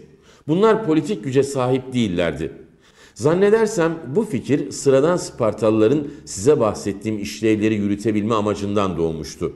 Ama bir de ellerine kralların doğru yolda gidip gitmediklerini teftiş etme gücü verilmişti ve kendilerine çeşitli teknikler veya poliçeler geliştirmişlerdi ve çeşitli yöntemlerle kralların yanlış bir şey yapıp yapmadığını denetleyebiliyorlardı ve eğer bir yanlış bulurlarsa onu ön plana çıkartıyorlardı. Delfi'ye gidebiliyor ve Tanrı'ya danışabiliyor. Eğer bir yanlış olduğu konusunda tahminleri doğruysa ve eğer tanrıların huzurundan dönebildilerse krallar yargılanabiliyordu. Eferoslar suçlayan taraf oluyor, mahkemede Gerusya'dan sürdürülüyordu. Bunun sakın ha önemsiz olduğunu düşünmeyin. Krallar Sparta tarihinde sık sık böyle mahkeme edilmiş ve birçok kere de suçlu bulunmuş ve şehirlerden sürülmüşlerdi. Yani cezalandırılmışlardı. Yani bu kontrol kapasitesi konusu hiçbir şekilde sırf teoride kalmıyordu. Ve dolayısıyla kimin Eferos olduğu konusu şansa dayansa da çok önemliydi. Tamam, işte bunlar Sparta'nın yapısının içerdiği özelliklerdir. Ve görüyorsunuz ki bunların karışık bir sistem olduğu net ve açık. Aynı zamanda bu denli temel olan bir şeyin de ötesine geçmemeniz gerekmekte. Hatırlayın bir kez, sıradan bir kişiden krala kadar Sparta vatandaşların aslında tüm Spartalıların kontrolü altındaki insanların sadece ufak bir kısmını oluşturur bu grup insan. Bizler eldeki verilerden tüm Peloponnesos veya Spartalılara ait olan bölgelerdeki nüfustan onların ne kadar yüzdesini oluşturduğunu tahmin etmeye çalışmaktayız. Görüldüğü kadarıyla Helotların sayısı her 7 Helot'a bir Spartalı düşmekte. Bunlara bir de Spartalı olmayan Perioikoi sayısını eklemeniz gerek. İşte bu karmaşık örgütlenme içerisinde tüm Lakonya'ya ve sahip olduklarına baktığınızda bunun gerçekten bir oligarşi olduğunu görürsünüz. Spartalılar normal olarak başka devletlerin oligarşi ile yönetilmelerini tercih ederdi. Herhangi bir aşırılık e, istemezlerdi. Demokrasileri sevmezlerdi ve Yunan toplumlarının tiranlıktan kazandıkları otokrasileri de sevmeyeceklerdi. Spartalılar tiranlara karşı çok savaştıklarından ün kazanmışlardı. Yani tiranlara karşı olduklarına dair ünlenmişlerdi. Burada dış politikaya bakacak olursak ki bu Sparta içinde Yunan dünyası içinde çok önemliydi. Çünkü daha önce de söylemiştim Spartalılar ilk defa devletler koalisyonunun lideri yani kumandanı olan bir toplumdu. Herhangi bir amaç için olmasa da antik dönemde Yunanlılar bu kalıcı devlet koalisyonuna Spartalılar ve ittifakları olarak hitap ediyorlardı. Günümüzde bilim adamları bunu Peloponnesos Birliği der ve her yerde göreceğiniz bu terminolojiyi ben de kullanacağım. Kusursuz bir terminoloji değil. Çünkü bazı taraflar yani bence Sparta ittifakı daha iyi bir anlatım oluşturmakta ki Yunanlılar da aslında bunu söylemeye çalışıyordu. Çünkü Peloponnesos'taki herkes bu Peloponnesos birliğinin bir parçası değildi ve bu birlikteki her tarafta Peloponnesos'tan değildi. Ama yine de Peloponnesos birliği dediğimizde ne demek istediğimiz aslında anlaşılır olacak. Aslında çoğu zaman Sparta ittifakı demeye çalışacağım. Bakalım nasıl ortaya çıkmıştı bu? Yunan tarihindeki çoğu şey gibi başlangıcı bunun da mitik hikayelerle dolu ve net değildir. Ama belki İsa'dan önce 570 gibi başlamış olabilir. İsa'dan önce 7. yüzyılda Argos'ta olan savaşlarını kaybettikten sonra Spartalılar kendilerini başarılı bir biçimde toparlamaya başlamışlardı. Ve Peloponnesos'ta kendi etkilerini ve güçlerini hissettiriyorlardı. Ama Lakonya'nın kuzeyindeki Arkadya bölgesinde önemli bir çarpışma da kaybetmişlerdi. Bu arada burası dağlık ve göreceli olarak fakir bir bölgeydi ama aynı zamanda da Yunan dünyasının en kuvvetli savaşçıları buradan yetişmekteydi. Dolayısıyla burada Spartalıların zorluklarla karşılaştıklarına çok şaşırmamak gerek. Bu sırada Sparta'da bir sivri zekalı Sparta'nın durumunu değiştirecek bir fikirle ortaya çıktı ve aynı zamanda da tüm Yunan dünyasına bir yenilik getirdi. Lakonya'nın kuzeyinde bulunan Tegea şehrini yendiler. Burası Spartalılar için oldukça önemli bir şehir devletiydi. Yani sadece hemen kuzeylerinde bulunduğu için değil, ama hatırlarsınız diye söylediklerimi Mikenay'dan Sparta'ya gitmeye kalktığınızda dağları geçmeniz imkansızdı. Önce kuzeye sonra oradan sola dönüyordunuz batıya. Ancak böyle Mikena'ya gitmeyi başarabiliyordunuz. Tegea da tam bu yolun batıya döndüğü yerdeydi. Dolayısıyla stratejik konumu çok önemliydi. Spartalılar Tegea ile savaşa girmişti ve Tegea'nın kontrolünü ele geçirmişlerdi. Burada Homeros'un dünyasındaki kahramanlardan Orestes'in kemiklerini bulduklarını Tegea'dan alıp sonra da Sparta'ya getirip gömdüklerini söylemişlerdi. Bir de efsane dolaşıyordu şiirlerde. Herhalde propaganda için. Agamemnon'un Mikenay'daki evinden Sparta'ya geldiğini anlatan, büyük olasılıkla Spartalı dorların savunma amacıyla Homeros'un anlattığı Akalı büyük adamlarla bağlantılı olduğunu vurgulamaya çalışmak için ortaya çıkmıştı bu şiirler. Sonuç olarak 6. yüzyılın geç evrelerinde Sparta kralları arasında bayağı saldırgan olan Kral Kleomenes, gücünü genişlettiği sırada bir seferinde ben doğru değilim, ben akalıyım dahi demişti. Bütün bu ne anlama geliyordu? Görülüyor ki Spartalılar ittifaklarını genişletmeye başlayınca ki bu konuya birazdan değineceğiz, tabii ki karşılarına çıkacak direncin boyutlarını kısıtlamak isteyeceklerdi. Dorlarla Akallıların birbirine karşı olmalarının Yunanlılar için özel bir anlamı vardı. Sikyon tiranları Akalıları Dorlara karşı tercih ettiklerinde Sikyon'da neler olduğunu hatırlarsınız. Bütün bunlar gösteriyor ki Yunan toplumları arasındaki farklılıklar henüz yok olmamıştı. Ve bütün bu olanlar da bunun göstergesidir. Spartalılar ama Akalılara üstünlük taslamıyor, onun yerine onlarla bağlar kurmaya çalışıyorlardı. İşte böyle. Spartalılar diğer Yunan devletlerini yavaş yavaş ele geçirmeye başladılar. Kendi egemenliklerini kurmakta bayağı başarılıydılar. Güçlü ve önemli Argos'u yendiler. Ve bunu yaparken kendi topraklarına çok yakın olan Argas ve Sparta arasındaki bir kısım toprağı da ele geçirdiler. Buraya Kunurya deniliyordu. Bu aslında çok ilginçtir. Çünkü Argoslular hiçbir zaman bunu affetmedi ve hiçbir zaman geri alma fikrini elden bırakmadı. Argoslular ve Spartalılar Kunurya'nın kontrolünü ele geçirebilmek için her yüzyılda en az bir kez birbirleriyle savaşmışlardı. Sıradan insanlar Kunurya'ya Peloponnesos'un Alsas-Lorraine'i diyorlardı. Her iki devlet de burayı birbirinden devamlı geri almaya çalışıyordu. En sonunda Spartalılar Peloponnesos'un güneydoğusundaki Kütera adasını da aldılar. Burası onlara daha genişleyebilmeleri için önemli bir stratejik taban sağlamaktaydı. Bakalım neler olmaktaydı. Şimdi Tegea'ya bir dakikalığına geri dönelim. Bu duyduğumuz ilk örnek.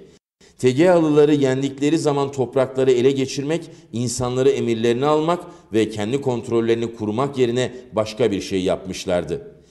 Tegealılara ittifak teklifinde bulunmuşlardı. Ama ittifak aslında karakter olarak tam Spartalıların tarih boyunca gösterdiği ittifak anlayışına tam uyar. Şimdi size söyleyeceklerim Spartalıların müttefiklerine ettirdikleri yeminlerinin kelime kelimesine aynısı mıydı?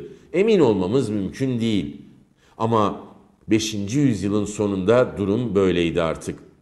Bunun gibi bir şey ya antlaşmada vardı ya da herkes anlıyordu zaten.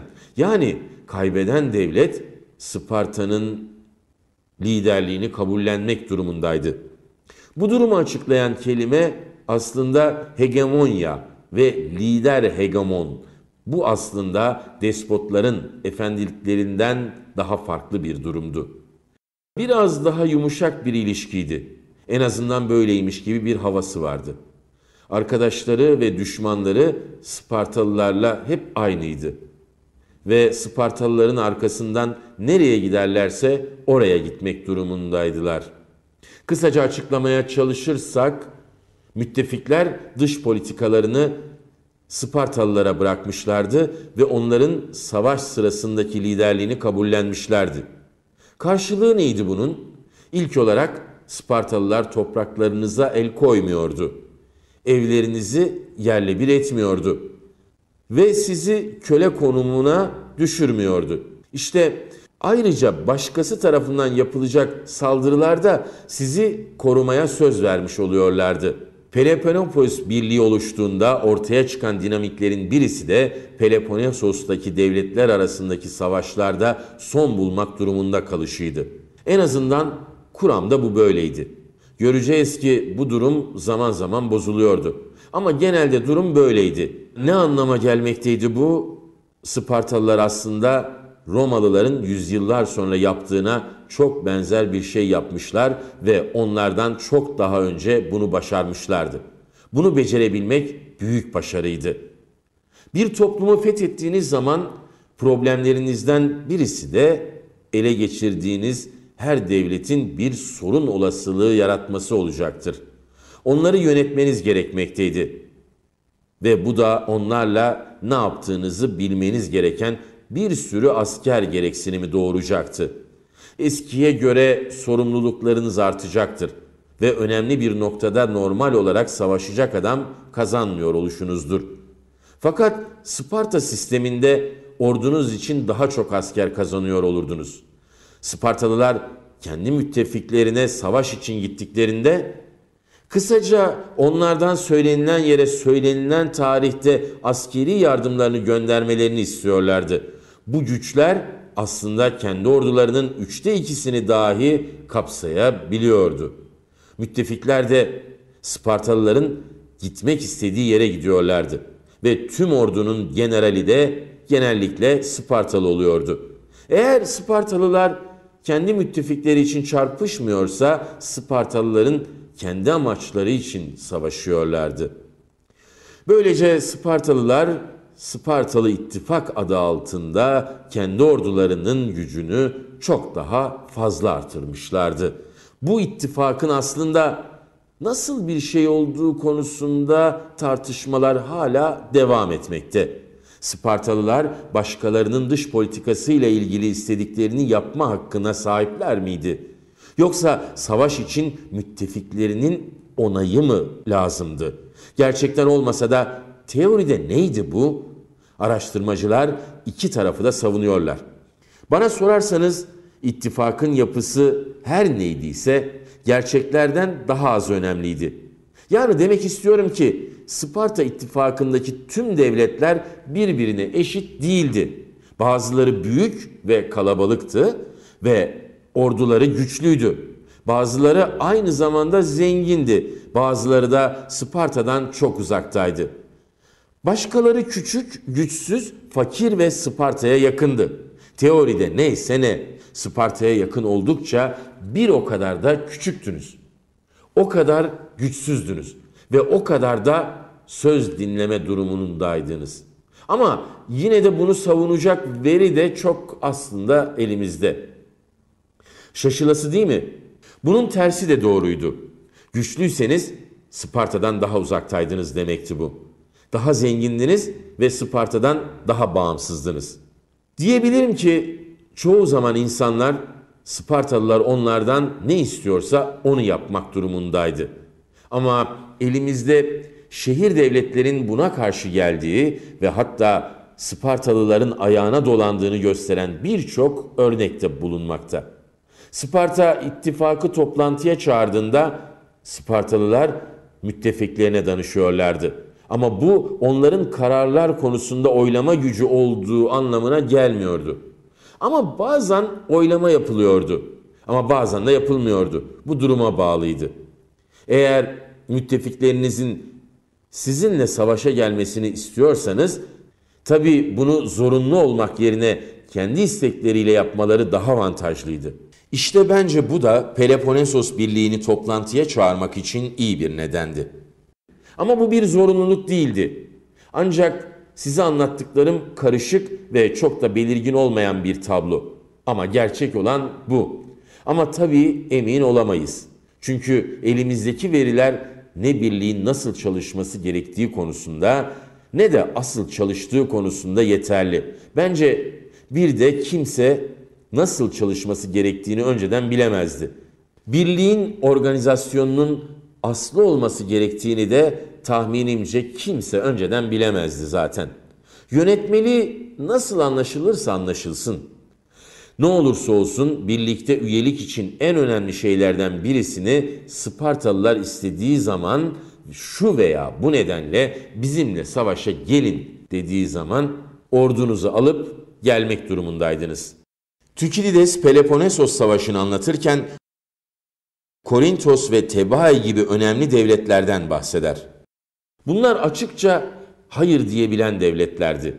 Spartalılar neden yapmanız gerekeni yapmıyorsunuz diye sorunca Teoride dini motifleri olan güzel ama inanılır gibi olmayan bir hikayeyle neden gelemeyeceklerini anlatmaya çalışırlardı. Ve Spartalılar buna katlanmak durumunda kalırlardı. Çünkü başka bir şey yapamazlardı. Anayasanın teknik ayrıntılardan biraz söz ettikten sonra bence asıl sorulması gereken soru her bir olay için ortamın gerçeklikleri nelerdi? Neler olmalıdır? Bundan kastettiğim aslında asıl kararlar verilmesinde etken güç dinamikleri nelerdi? Tamam, 6. yüzyılın sonunda bu Sparta ittifakı oluşturmuştu ve Sparta artık tek başına tüm Yunan devletleri arasında hegemonya gücüne sahipti ve bunu da kullanıyordu. Elinde Yunan standartlarına göre şimdiye dek kendilerinin kullandığı ordu gücünün çok daha fazlası vardı ve Pers savaşları çıktığında hiç düşünmeden, pişmanlık duymadan savaşacaklardı. Perslere karşı Yunan ittifakını Spartalılar yönlendirecekti. O kadar saygı görüyorlardı ki sırf orduya liderlikle kalmayıp geleneklerinde deniz gücü olmasına rağmen donanmanın başına da onlar getirilecekti. Tabii akıllı olduklarından onlar da bu konuda aslında daha deneyimli olan kişileri deniz filosunun başına getireceklerdi. Yani Sparta bu konumdaydı ve bence bu çok önemliydi. Bir dakika durup bakalım. Şimdiye dek betimlemeye çalıştığımız Sparta devletine ve ilk başta Sparta devletini yani özellikle dış işleri konusunda neyin motive ettiğini soralım.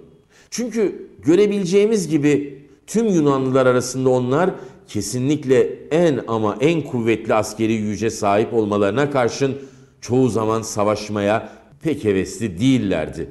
Ve hatta eğer savaştan kaçabiliyorlarsa savaşmamayı tercih ediyorlardı. Hatta savaşmak için yurtlarından uzaklara gitmeyi ve uzun süreyle evlerinden uzakta kalmayı sevmiyorlardı. Bunun sebeplerini şimdi sizin de anlamanızı sağlayacağım. Tükidides'e göre her şeyin merkezinde Helotlardan duydukları korku vardı. Helotlar Spartalılarla karşılaştırıldığında sayıca çok fazla değildi. Ama size onların durumlarından ne denli mutsuz olduklarını bir kez daha hatırlatmak istiyorum. Onurları kırılmış olsa da ruhları kırılmamıştı. Her zaman bir ayaklanma fırsatıyla onca zaman taşımak durumunda oldukları yükten kurtulmanın yollarını aramaktaydılar. Ve yüzlerce yıl süren bu duruma karşın bir şekilde kendi milli kimliklerini kaybetmemeyi başarmışlardı. Mikenli olduklarını ve bir bütün olduklarını asla unutmamış, her zaman Sparta'nın kontrolünden kurtulabilmeyi başarmak istemişlerdi. Spartalılar olan duygularını tahmin edebilirsiniz. Zannedersem size daha önceden de bahsetmiştim. Zaten bir isyan hikayesi vardı. Erken 4. yüzyılda birisi insanları Spartalı yönetime karşı kışkırtarak yandaşları olmaları için ikna etmeye çalıştığı Helotlar hakkında onların büyük bir mutlulukla Spartalıları çiğ çiğ yiyebileceklerini söylemişti. Bence eğer Spartalıların ne düşündüğünü gerçekten anlamak istiyorsanız aklınızda tutmanız gereken aslında budur. Eğer tüm orduyu ele alırsak şehirden çıkıp 3 günlük yürüyüşte olan bir yere gidiyorsunuz. Ama döndüğünüzde herkesi hala hayatta bulacağınızdan nereden eminsiniz? İşte her zaman düşünmeniz gereken budur ve Helot isyanları her gün olmasa dahi arada sırada oluyordu. Ve bu korku yersiz değildi. Buna bir de Argos'un hiç bitmeyen düşmanlığını ekleyin. Argoslular Argos'un Peloponnesos'un hakimi olduğu günlere Feydon'un muhteşem günlerine dönmeyi hep düşlüyorlardı. Ve bunun olabilmesi için de Spartalılara karşı üstünlük sağlamak amacıyla zaman zaman Sparta'yı istila ediyorlardı. Ama bu çok sık olmuyordu. Çünkü Spartalılar onları hep yeniyordu. Ve o sırada da onlara çok zarar veriyorlardı. Ki toparlanıp geri dönmeleri zaman alıyordu. Ama önemli olan hep oradaydılar. Ve uzak bir yere gitmiyorlardı. Bu da ciddi bir sorundu. Doğal olarak Spartalılar kendileri ve aralarında ilk sırada Argos olmak üzere düşmanları arasında duracak bir şehir devletleri topluluğuna ihtiyaç duyuyorlardı. İşte böyle Peloponnesos birliğine baktığınızda asıl görmeniz gereken şey Spartalıların nasıl içeriden ve dışarıdan gelecek tehlikelerle uğraştığı olmalıdır. Spartalıların devamlı korktuğu başka bir konuda Spartalıların neden bu denli başarılı olduğunu hatırlayın. Sayıca çok fazla değillerdi ama sayıları herkesi yenmeye yeterdi. Çünkü onlar en iyiydi. Neden en iyi onlardı? Antenman sistemleri, inançları ve Sparta'ya özgü olan yaşam biçimleri sayesinde olmuştu. Bu nedenle bence her zaman içten veya dıştan gelecek değişikliğe karşı olan bir grup Spartalı vardı. Zaten dıştan gelecek herhangi bir değişikliğin içe etkisi olacaktır. Her zaman yozlaşmanın Sparta sisteminin içine sızması konusunda endişeleri oluyordu. Yozlaşma normal olarak parayla bağlantılıydı ve arkasında zenginlik vardı. Para devreye girince insanlar satın alınabiliyordu. Artık iyi bir Spartalı'nın nasıl olması gerektiğini düşünmeyi bırakırlardı. Ama sadece devlet bazında. Onlar kendileri ve varlıkları üzerine düşünmeye devam ederdi. Yozlaşmaya neden olan bir başka olguysa Sparta sisteminde normalin ötesine varan güç arayışıydı. Çelişkiyi hatırlarsanız herkes eşit ama herkese nasip olmayan onur için herkesin savaşın vermesi lazımdı. Eğer tutucu bir Spartalıysanız sizin için bu iki kavram neredeyse aynı şeydi. İşte dikkat edilmesi gereken husus budur. Bu da dış politikada tutucu olmayı doğururdu. Savaşta kazanırsanız ganimet yağmalayabilirdiniz. Talan ettikleriniz bir şekilde Sparta'ya getirilecektir. Bir de insanların bazıları itibar kazanacaklardı. Çünkü savaşmak onlara fazla onur kazandırarak kafaları kendilerinin nedenli görkemli olduğu fikriyle doldurulacaklardı. Tabii ki bu da Sparta'nın dengesini tehdit edecek bir unsur oluşturacaktı. Bütün bunlar Yunan dünyasındaki en görkemli askeri gücün yaşadığı çelişkiyi özetler. Savaşmaya çok hevesli olmamakla birlikte kazanılacak ekonomik kazançtan gelecek güce de hazır olamamak. Üzerinde yoğunlaştıkları olgu disiplin, devlete karşı özgürlük, bireysellik ve hatta aileydi. Burası yani Sparta garip bir toplumdu.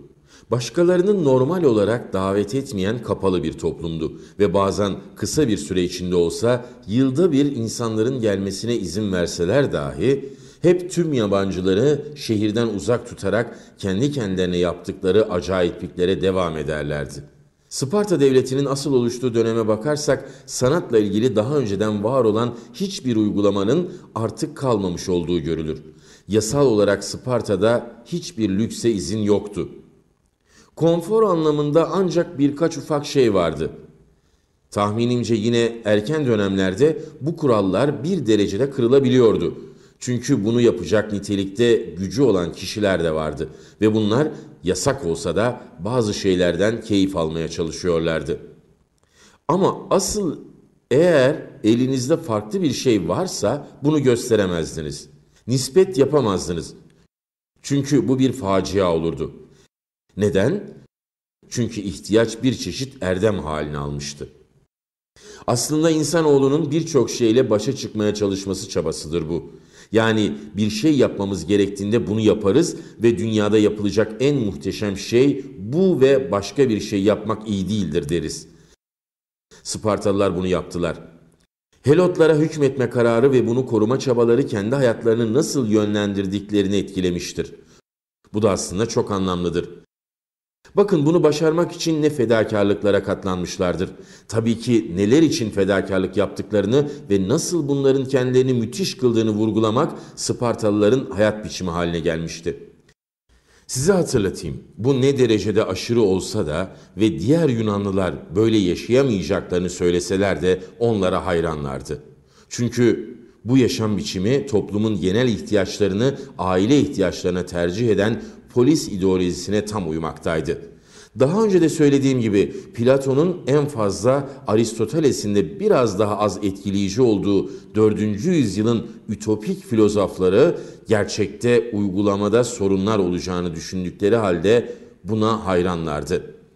Bu düşünüş biçiminden daha muhteşem bir şey olamazdı. Hele Atinalılar polis olarak gelişirken geçirdikleri evrelere bakıldığı zaman O zaman şimdi Atina'nın nasıl geliştiğine bir bakalım. Haritalarınızdan hatırlayacağınızı umuyorum. Atina Yunanistan yarımadasının güneydoğu uzantısında bulunmaktadır. Ege denizine doğru uzanan yerdedir. Coğrafi olarak yaklaşık 1500 metrekareden fazla bir alan olan Atika'da bulunmaktadır. Şehir Atina'dır. İçinde bulunduğu bölgede Atika. İnsanları Atinalılardır ve bu da zannedersem daha önce de vurguladığım bir noktadır. Atika'da yaşayan tüm insanlar Atina vatandaşı sayılır, şehirden 100 ya da 100 küsür kilometre uzakta yaşasalar dahi bunların hepsi Atinalıdır. Erken zamandan beri başardıkları şeylerden birisi tüm bölgeyi birleştirip tek bir polis olmaktır. Ama bu durum doğal olarak bağımsız köylerin başka yerleşimlerin Atina polisinin sınırları içinde bulunmadığını göstermez. Bunlar tabii ki de vardır. Atika özellikle tarımsal olarak Yunanistan'ın zengin bölgeleri arasında bulunmamaktaydı. Göreceli olarak kuraktı. Ama tabii buna büyük istisnalar da vardır. Örneğin Atika'nın merkez bölgesinde bulunan vadi oldukça verimliydi. Ve antik dönemlerde en iyi tahıl özellikle buğday burada yetişmekteydi. Ama Atina'nın topraklarının çoğu dağlık ve neredeyse tamamen çoraktı. Yani zengin topraklara sahip değildi. Burası dolayısıyla ziyaret için çok da makbul bir bölge değildi. Ama yine de bu bölgede Atinalıların kazanacakları zenginlik, güç ve üstünlük için yarayacak bazı özellikleri de vardı. Öncelikle ihtişamlı bir limanı vardı. Pire Atika'nın kuzeyinde bulunmaktaydı. Atina'nın limanı olarak işlev görmekteydi. Atina deniz gücü haline geldiğinde üç ayrı limandan oluşan geniş alanıyla bölgeyi rahatlıkla savunacak konumdaydı. Çünkü bu limanlar kapatılınca içerilere yapılacak saldırılarda durdurulmuş oluyordu. Bu da önemli bir güç kaynağıydı. Yunan devletleri arasında nadir olan bir başka olguysa Atika Yarımadası'nın güneyinde gümüş madenleri bulunmaktaydı. Ve bu madenler devlete aitti.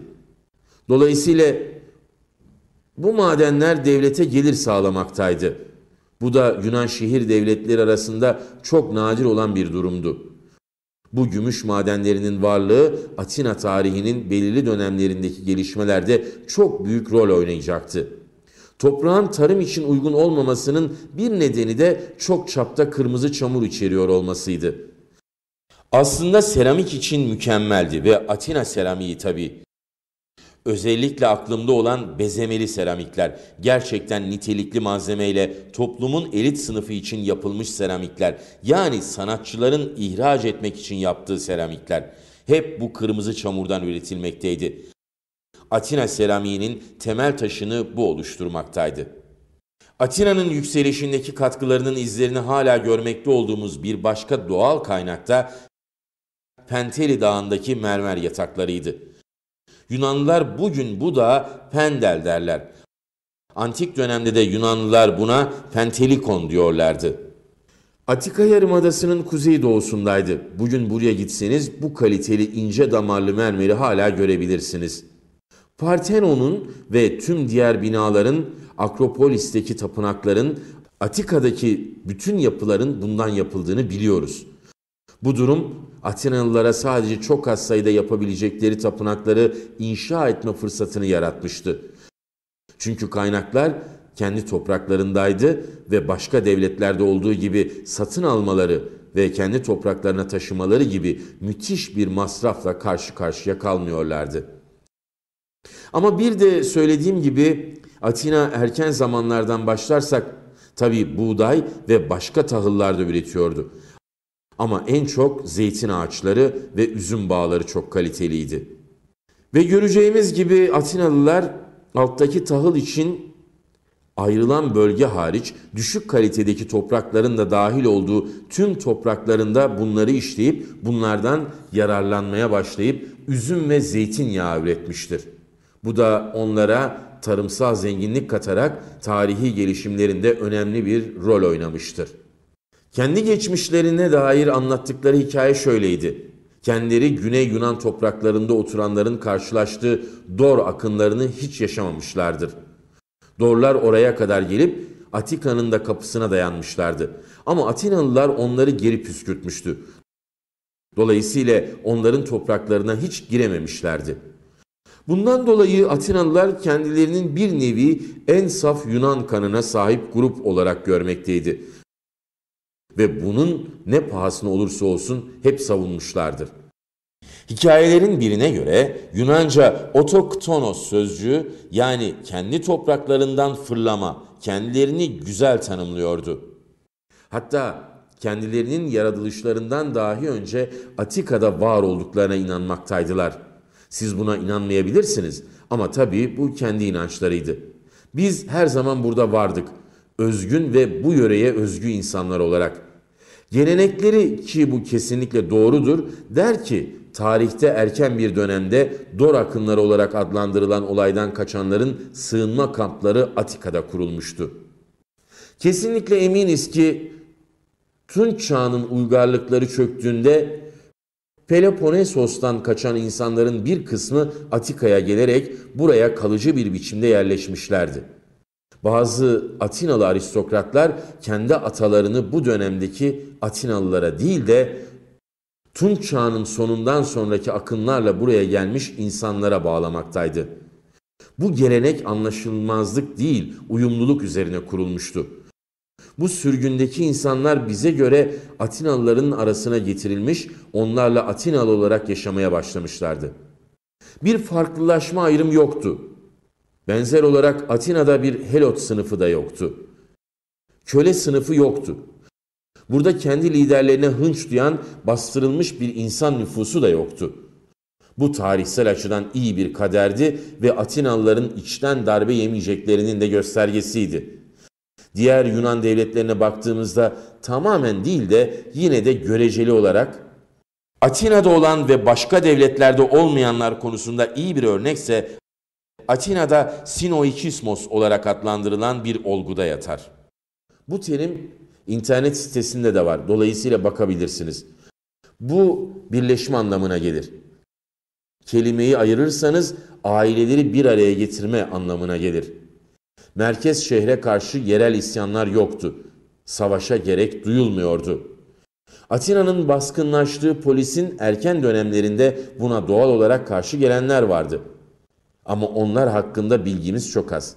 Sanki hatıralar bellekten tamamen silinmiş ve herkesin hatırlamak istediği tablo hep beraber mutlu mutlu yaşadıkları, anlaşmazlıkların hiç olmadığı bir tabloydu. Bunu Peloponnesos'un kontrolünü savaşarak kazandığı açık olan Sparta ile karşılaştırın. Buradaki insanlar onlardan hiç hoşnut değildi. Bir de tabii Helotlar vardı. Komşu Boitia'da, buranın önemli şehri Tebai'di. Geleneksel olarak savaş halindeydiler. Ve Tebai kendisini lider yapabilmek için Boitia'nın diğer önemli şehirlerini ele geçirmeye çalışıyordu. Ama bu konuda hiçbir zaman tamamen başarılı olamadılar. Boitia da bir derecede ikiye bölünmüş durumdaydı. İçten sorunları vardı ve bundan dolayı Tebai'nin kendi topraklarında güç kazanması ve Atinalıların başardıklarını başarabilmesi güçleşmişti. Şimdi de bildiğimiz kadarıyla Atina'nın en erken toplumlarına bakalım. Bu konudaki bilgilerimiz genellikle bize Aristoteles'ten gelir. Kendisi her şeyi olduğundan daha düzenli tutmayı, her şeyi güzelce organize etmeyi sevdiğinden düzensizlik gibi bir durum söz konusu değildi. Bahsettiğimiz toplum en erken toplum aslında aristokratikti ve hatırlayın aristokratik ve oligarşik rejimler arasında önemli farklılıklar vardı.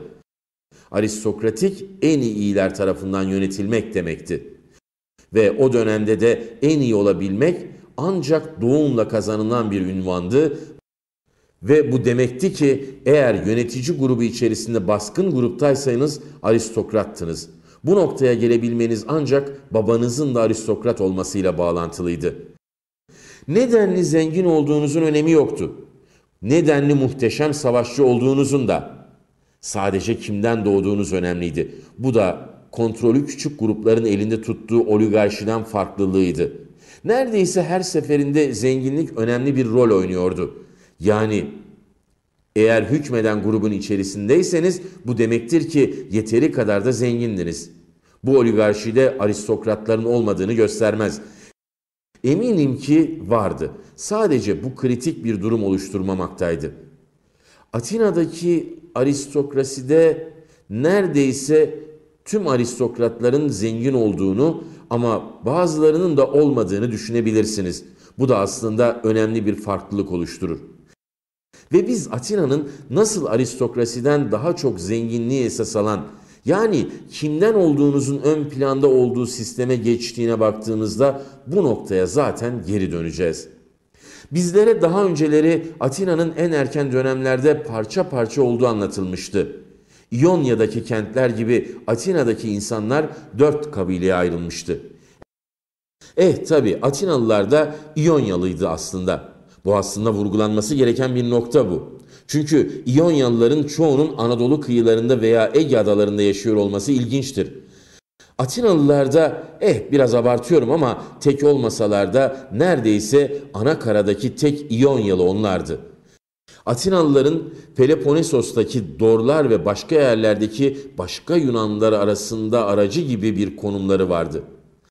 Ve yaşadıkları ana kara ve adaların ötesindekilerle de önemli bir bağları vardı. Geleneklere bakılacak olursa bu geleneksel kabilelerin dördünün de her birinde üç ayrı grup bulunmaktaydı. Bunlara fratres deniliyordu. Fratres kelimesini kardeşlik olarak çevirebiliriz. Bakın bu da kavram olarak aile ile bağlantılıdır. Fratresseniz fratresindesiniz. Çünkü bu babadan oğula geçiyordu ve fratres bağlantıları çok önemliydi. Size bu kabilelerin önemli dinsel sorumlulukları olduğunu daha önce söylemeliydim. Bir de ordunun dört taburu vardı ve her biri bir kabileye aitti. Dolayısıyla kabileler Spartalılar için önemliydi. Devletin tümü için katılım zorunlu, dini festivallerin yanı sıra sadece kabileler için olanlara da katılmak gerekmekteydi. Bu da kabile üyelerine bir aitlik kazandırıyordu. Ki bu da önemli bir noktadır. Fratres'te bazı ufak farklılıklar vardı. Fratres kendi dini ritüellerini yapıyorlardı. Ve özellikle bir birlik içerisine oturdukları yere ve birbirlerine ait olmak duygusuyla bağlanıyorlardı. Yani biri bir Atinalıya 7. yüzyılda gelip sorsaydı, o da ben Atinalıyım derdi ve Atinalı olduğunu nereden bilecekti? Kendinizi anlattıktan sonra siz de gidin arkadaşlarıma, komşularıma sorun derdiniz. E onlar nereden bileceklerdi? Siz de nasıl bunun parçası olunuyordu diye sorgulayabilirdiniz. Tahminimce kendi Fratres toplantınıza gittiğinizde sizi o Fratres'in bir üyesi olarak kaydediyorlardı ve böylece Atinalı oluyordunuz. Bundan dolayı en azından kısmen Fratres çok önemliydi. Kimden doğduğunuz geleneğe bağlı olduğundan Fratres aristokratların kalesiydi. Kabile, Fratres ve bunlar gibi sistemlerin olduğu her yerde aristokratik ailelerin geleneksel olarak ön plana çıktığını görmek mümkündü. Yunan dininde rahipler vardı. Ama ayrı bir dini sınıf yoktu. Ve aristokratik dönemde ve hatta tarih boyunca Atina dininde rahiplik olmamıştı. Devletteki en önemli dini konumlar aristokratlar tarafından tutulmuştu. Ve bu durum ilkel toplumlarda bu insanlara müthiş itibar, etki ve güç sağlamaktaydı. Bu konuda elimizde sağlam veri olduğundan emin değilim. Ama Fratres herhalde kabilelerin alaylarında omuz omuza savaşıyordu. Tabi başlarındaki onları yöneten komutanlar aristokratik olmalıydı. Atinalı insanlar bir de sınıflara göre ayrılmaktaydı. Sınıflar isimlerden anlaşılıyordu. Bu konuya başka bir tartışmada geri döneceğiz. Ama bir sınıf yani aslında aristokratik devletteki en üst sınıf Eupatrides'ti. Bu sözcük iyi doğmuş, iyi aile çocuğu anlamına gelir. Ve erken poliste tüm en iyi toprakların onlara ait olduğunun göstergesidir. Dinin en üst konumlarındaydılar bu kişiler. Devlet işleri onların elindeydi.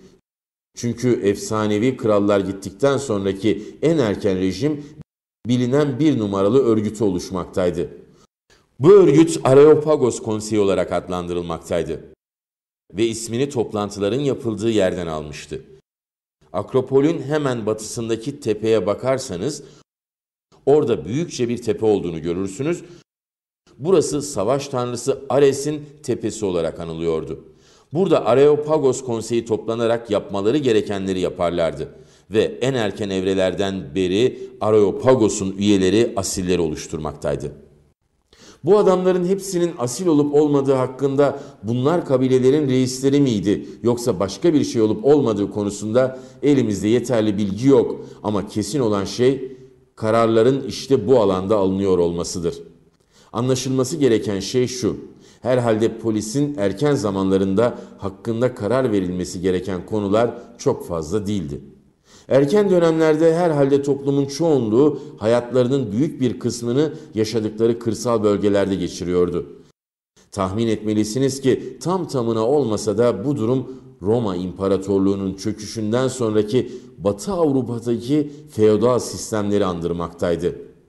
Bu asiller tipik olarak çok fazla toprağa sahipti ve bahsettiğim gibi bütün güçleri ellerinde tutuyorlardı.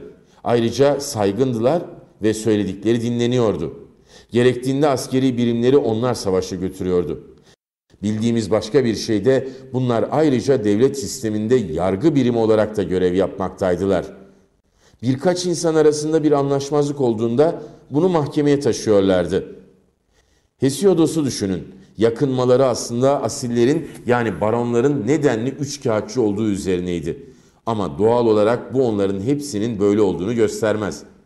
Her halükarda buraya giderdiniz işte. Aralarındaki tüm anlaşmazlıkları kavgayla veya başka bir ilkel yolla çözemediklerinde mahkemelerde çözerlerdi. Bu durumda asillerin sorunları çözümlemelerini beklemek doğaldı.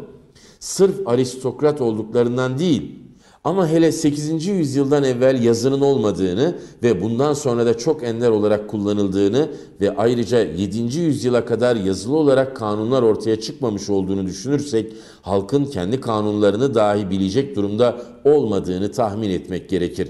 İşte bu dönemden önce hak hukuk istiyorsanız asillere gidiyordunuz. Bunun ötesindeki durumlar içinde asillerden oluşan Areopagos bulunmaktaydı. İşte anladığımız kadarıyla en erken polis zamanında durum buydu. Aristoteles'in erken 7. yüzyılda başlayarak bize verdiği tarih doğal olarak çok güvenilir değildir. Çok nettir ama bu İsa'dan önce 683'e denk gelir.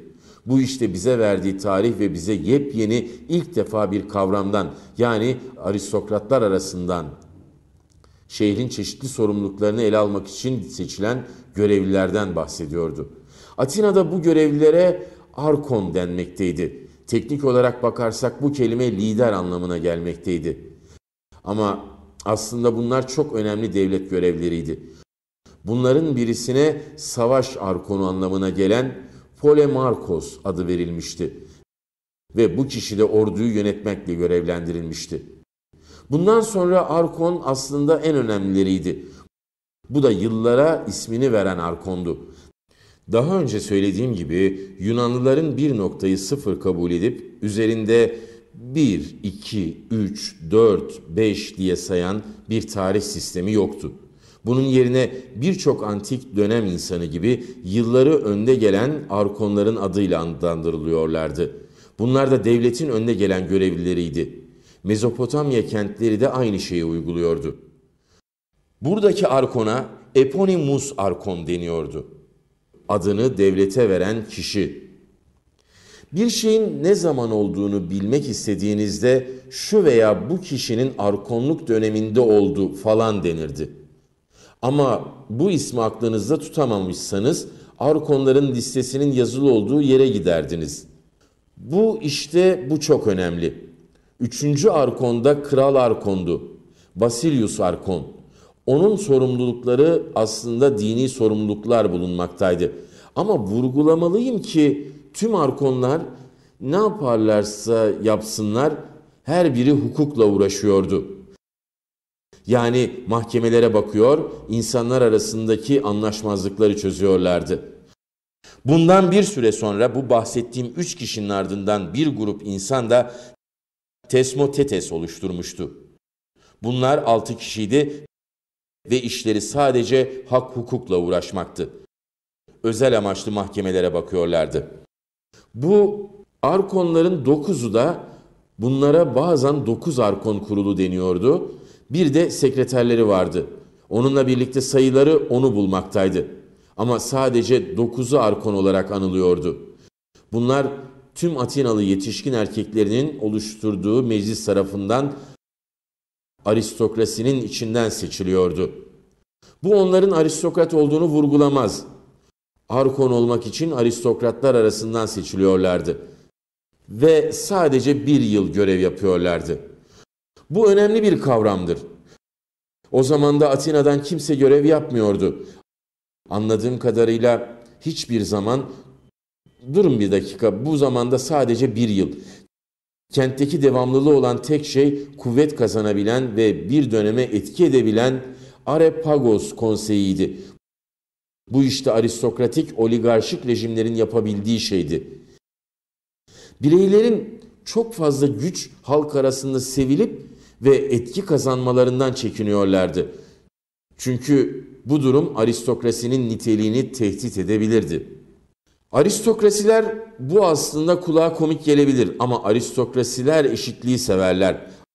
Aristokratlar arasında eşitlik sonra da kendileri ve diğerleri arasında müthiş bir eşitsizlik oluşur. Örneğin Yale öğrencileri ve başkaları arasında olduğu gibi. Yale'lılar sivrilen tipleri pek sevmez çünkü kendilerine neden asıl ben o değilim diye sorarlar. Kendinizden beklentileriniz çok fazladır ve eğer Yunanlıların sahip olmadığı bazı geç dönem dini fikirler tarafından ele geçirildiğiniz için alçak gönüllü olmaz. Onur için rekabet eder olurdunuz. Karşımdaki Yale'lılara baktığımda hep aklıma Yunanlılar gelir. Aslında bu aristokratik bir cumhuriyet monarşi değil, bir cumhuriyet. Aristokratik bireyler dışında herkes tarafından kontrol edilebilirlerdi. Arepagos ve tarihte bir noktada arkon olmuş insanlar bu konseyi oluşturmaktaydı. Bu kişiler bir yıl süren arkonluk sorumluluklarının bitiminden sonraki yıl otomatik olarak Arepagos'a gidip burada hayat boyu Arepagoslu olarak kalıyorlardı. Bu da Arepagos konseyine daha da güç ve etki kazandırıyordu. Çünkü bir süre sonra bu grup devlette önemli görevler yüklenebilecek nitelikte olan kişisel özellikleri yüzünden seçilmiş insanlarla dolmuştu. Ve bunlar artık onları gözlemleyecekti. Bu kişiler güçlü oldukları sürece aristokratik arkonların yanlışlık yapıp yapmadıklarını yakından izlemiş ve aynı zamanda çok büyük ve kuvvetli olmamalarına özen göstermişlerdi. Arepagos'un ağırlığı ve gücü bu sistem içerisinde müthiş olmalıydı. Zengin ve iyi aile çocukları. Bu durum polisin erken dönemlerinde de aynen böyleydi. Devleti resmi yollarla yönetmeye özen gösteriyordu. Ama kırsal alanlarda toprakları da olduğundan buralardaki çiftçi ve diğer kişilere uygun yönetiyorlardı. Onlara özen gösterip kayırıyorlardı. Başlangıçta hayat böyleydi. Her Yunan kentinde olan bu arada Atina'da da olmuştu. Ama Argos ve Korintos ve başka yerlerde gördüğümüz kargaşalar Atina'da biraz daha geç dönemde olmaktaydı. Hoplit ihtilali gibi bir kavramdan bahsedebiliyorsak eğer bu Atina'da da olmuştu. Atina yavaş yavaş büyümekteydi. Hem de geç dönemlerde ama ticaretle eskiye göre çok büyük boyutta uğraşmaya başlamıştı. Her yerde olduğu gibi el yapımı zanaat aile yerine zenginliğe dayanan yeni zenginlik ve insanları yeni sınıf farklılıklarına doğru yönlendirmekteydi. Yani kavramlar duyuyoruz. Hepsi yeni olmasa da bazıları yeni olarak tabloya girmişlerdi. Atinalıların farklı sınıflara ayrıldıklarını duyuyoruz. Bunlardan birisi hatırlarsınız Eupatrides yani iyi aile çocuğuydu. Bu aslında eski hikaye ama aslında sadece iki açıklaması var. Olanlar ve olmayanlar. Ama Hipeis atlılar yani süvariler eğer çok paranız yoksa at sahibi olup ona binemezdiniz. Atlar pahalıdır. Süvari olan zengin insanlar da vardı. Eskiden süvariler vardı ve bunlar hep aristokrat olmuşlardı. Ama göreceğimiz gibi gelecekte hipeis olan adamlar artık aristokrat olmak durumunda değildi. En alt tabakada tetes adı verilen insanlar vardı. Bunlar her zaman varlardı ve çok da fakirlerdi. Toprak sahibi de değillerdi. Şansa dayanarak yaşıyorlardı. Başkaları için savaşıyorlardı. Hayatta kalabilmek için her şeyi yaparlardı. Ama yeni bir grup insan daha gelecekti. Zeugitai. Bu ne demek? Boyunduruk arkadaşlığı. Boyunduruğun kullanılan iki anlamı vardı. Bunlardan birisi için diyebilirsiniz ki insanlar iyi durumda olduklarından bir set öküz sahibi olabiliyorlardı. Yani iki öküz bunlar da boyundurukla birbirlerine bağlanarak saban sürüyorlardı. Bu insanlar saygın derecede iyi durumda çiftçilerdi. Burada hoplit sınıfından insanlardan bahsediyoruz. Bir diğer kuramsa bu adlandırma. Hobbit olduklarından ve falank sırasında dizildiklerinden birbirine değen kalkanlarından dolayı birbirlerine boyunduruklar bağlanmış gibiydiler. Bu hikayelerden hangisini tercih ettiğinizin önemi yok. Hatta ikisini birden bile seçin. Aynı insanlardan bahsediyoruz. Ve bu da bize önemli bir gerçeği göstermekte. Bu gerçekte bu yeni bağımsız aile tarımcıları yeni bir sınıf olarak Atina'ya gelmiş olduklarıdır. Ama diğer devletlerde olduğu gibi devletteki kendi konumlarından hiç memnun değillerdir. Ve devlet için kendi önemlerinin gittikçe daha da artmak olduğudur. Solon'dan bahsedeceğimiz zaman bu noktaya geri döneceğiz. Ben günümüzde olan değişikliklere baktığımda bu değişiklikler olurken gördüğümüz ve size bahsetmek istediğim değişiklik gerçekleşti. Aslında olmayan bir değişiklik ama eğer olsaydı tüm tarihin gidişatını değiştirebilecekti.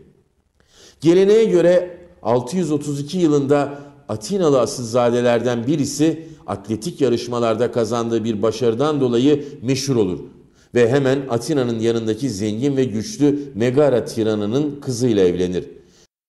Bu genç adam Kilon adında değişik karakterde bıçkın bir delikanlıdır ve gidip bir hükümet darbesi yaparak Atina'da bir tiranlık kurmaya çalışır.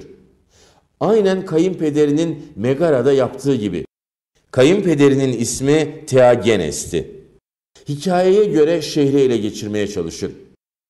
Atina'nın erken zamanlarında eğer bir şehri eğer ele geçirmek istiyorsan o zaman Akropole silahlı kuvvetlerinizi çıkıp orayı kale haline getirerek kendinizi lider ilan eder ve ayrıca doğal olarak bunun kabul görüp görmediğine bakardınız. Ama o bunu yapmadı. Yapamadı. Karşıtları tarafından oluşturulan bir direnişle karşılaşıp çarpışmayı kaybetti. Alkmanya Dünya ailesi Akropolis'e çıkıp Kilon'u ve yandaşlarını bir tapınakta kilit altına almışlardı. Tapınaklara insan öldürmek amacıyla girmek yasaktı. Bu hala tapınak içerisindeysiniz ve öldürmekten kaçıyorsanız tabi yemek ve su lazımdı. Ama tabi su en önemlisiydi. Bu durumda ne yapılabilirdi? Bir ip bulup tapınağa bağladılar ve bir kuyunun içine sarktılar ve dokunulmazlıklarının önceden olduğu gibi devam ettiğini iddia ederek buradan gereksinimleri olan suyu almaya devam ettiler. Bu böyle bir zaman devam etti. Ama Alkamania da bunu kabul etmeyip ipi kesti ve Kilon ve arkadaşlarını öldürdü. Bu da Kilon komplosunun sonu oldu. Ama Alkmay Oniday ailesine de müthiş bir lanet getirdi. Alkmay Oniday ailesi lanetlenerek şehirden atıldı. Şimdilik bunu hatırlayın ama sonra geri dönecekler ve onlar hakkında çok şey konuşacağız. Çünkü tarihte onlar çok önemli oyuncular olacaklar. Lanet aileye bağlı olarak devam edecek ve 5. yüzyılın sonlarına geldiğimizde son çeyreğinde falan Peloponnesos savaşlarının başladığı zaman Perikles'in düşmanlarının Alkmay Oniday laneti yine gündeme getirdiğini ve bunu ona karşı kullandıklarını göreceğiz. Çünkü Perikles'in annesi Alkmay Oniday ailesinden gelmekteydi. Bence şimdilik burada konuştuklarımızı aslında bazı ufak pürüzler olarak kabul edebiliriz. Rahat, sessiz ve mutlu bir şekilde sinoikismos yapmış, Atinalılar, derebeyler gibi sorunlar yaşamaya başlamıştı. Yani Atina. Neden? Düşünmemiz gereken konuştuğumuz gibi bu denli bir hoşnutsuzluğun oluşmuş olması. Yani şu veya bu nedenden üstün konuma gelmiş bir kişi tiranlık kurmaya çalışıyor ve bunu yaparken de silahlı askerlerini kullanıyor. Bunun başarısızlığa uğraması bence Atina'da henüz silahlı kuvvetlerin Megara, Korintos ve Sikyon'da olduğu nitelikte güç kazanmamış olmasıdır. Ama bu bize gelecekte yaşanacak sorunlar hakkında ufak fikir verir ve gelecek derste bu problemleri incelemeye başlayacağız.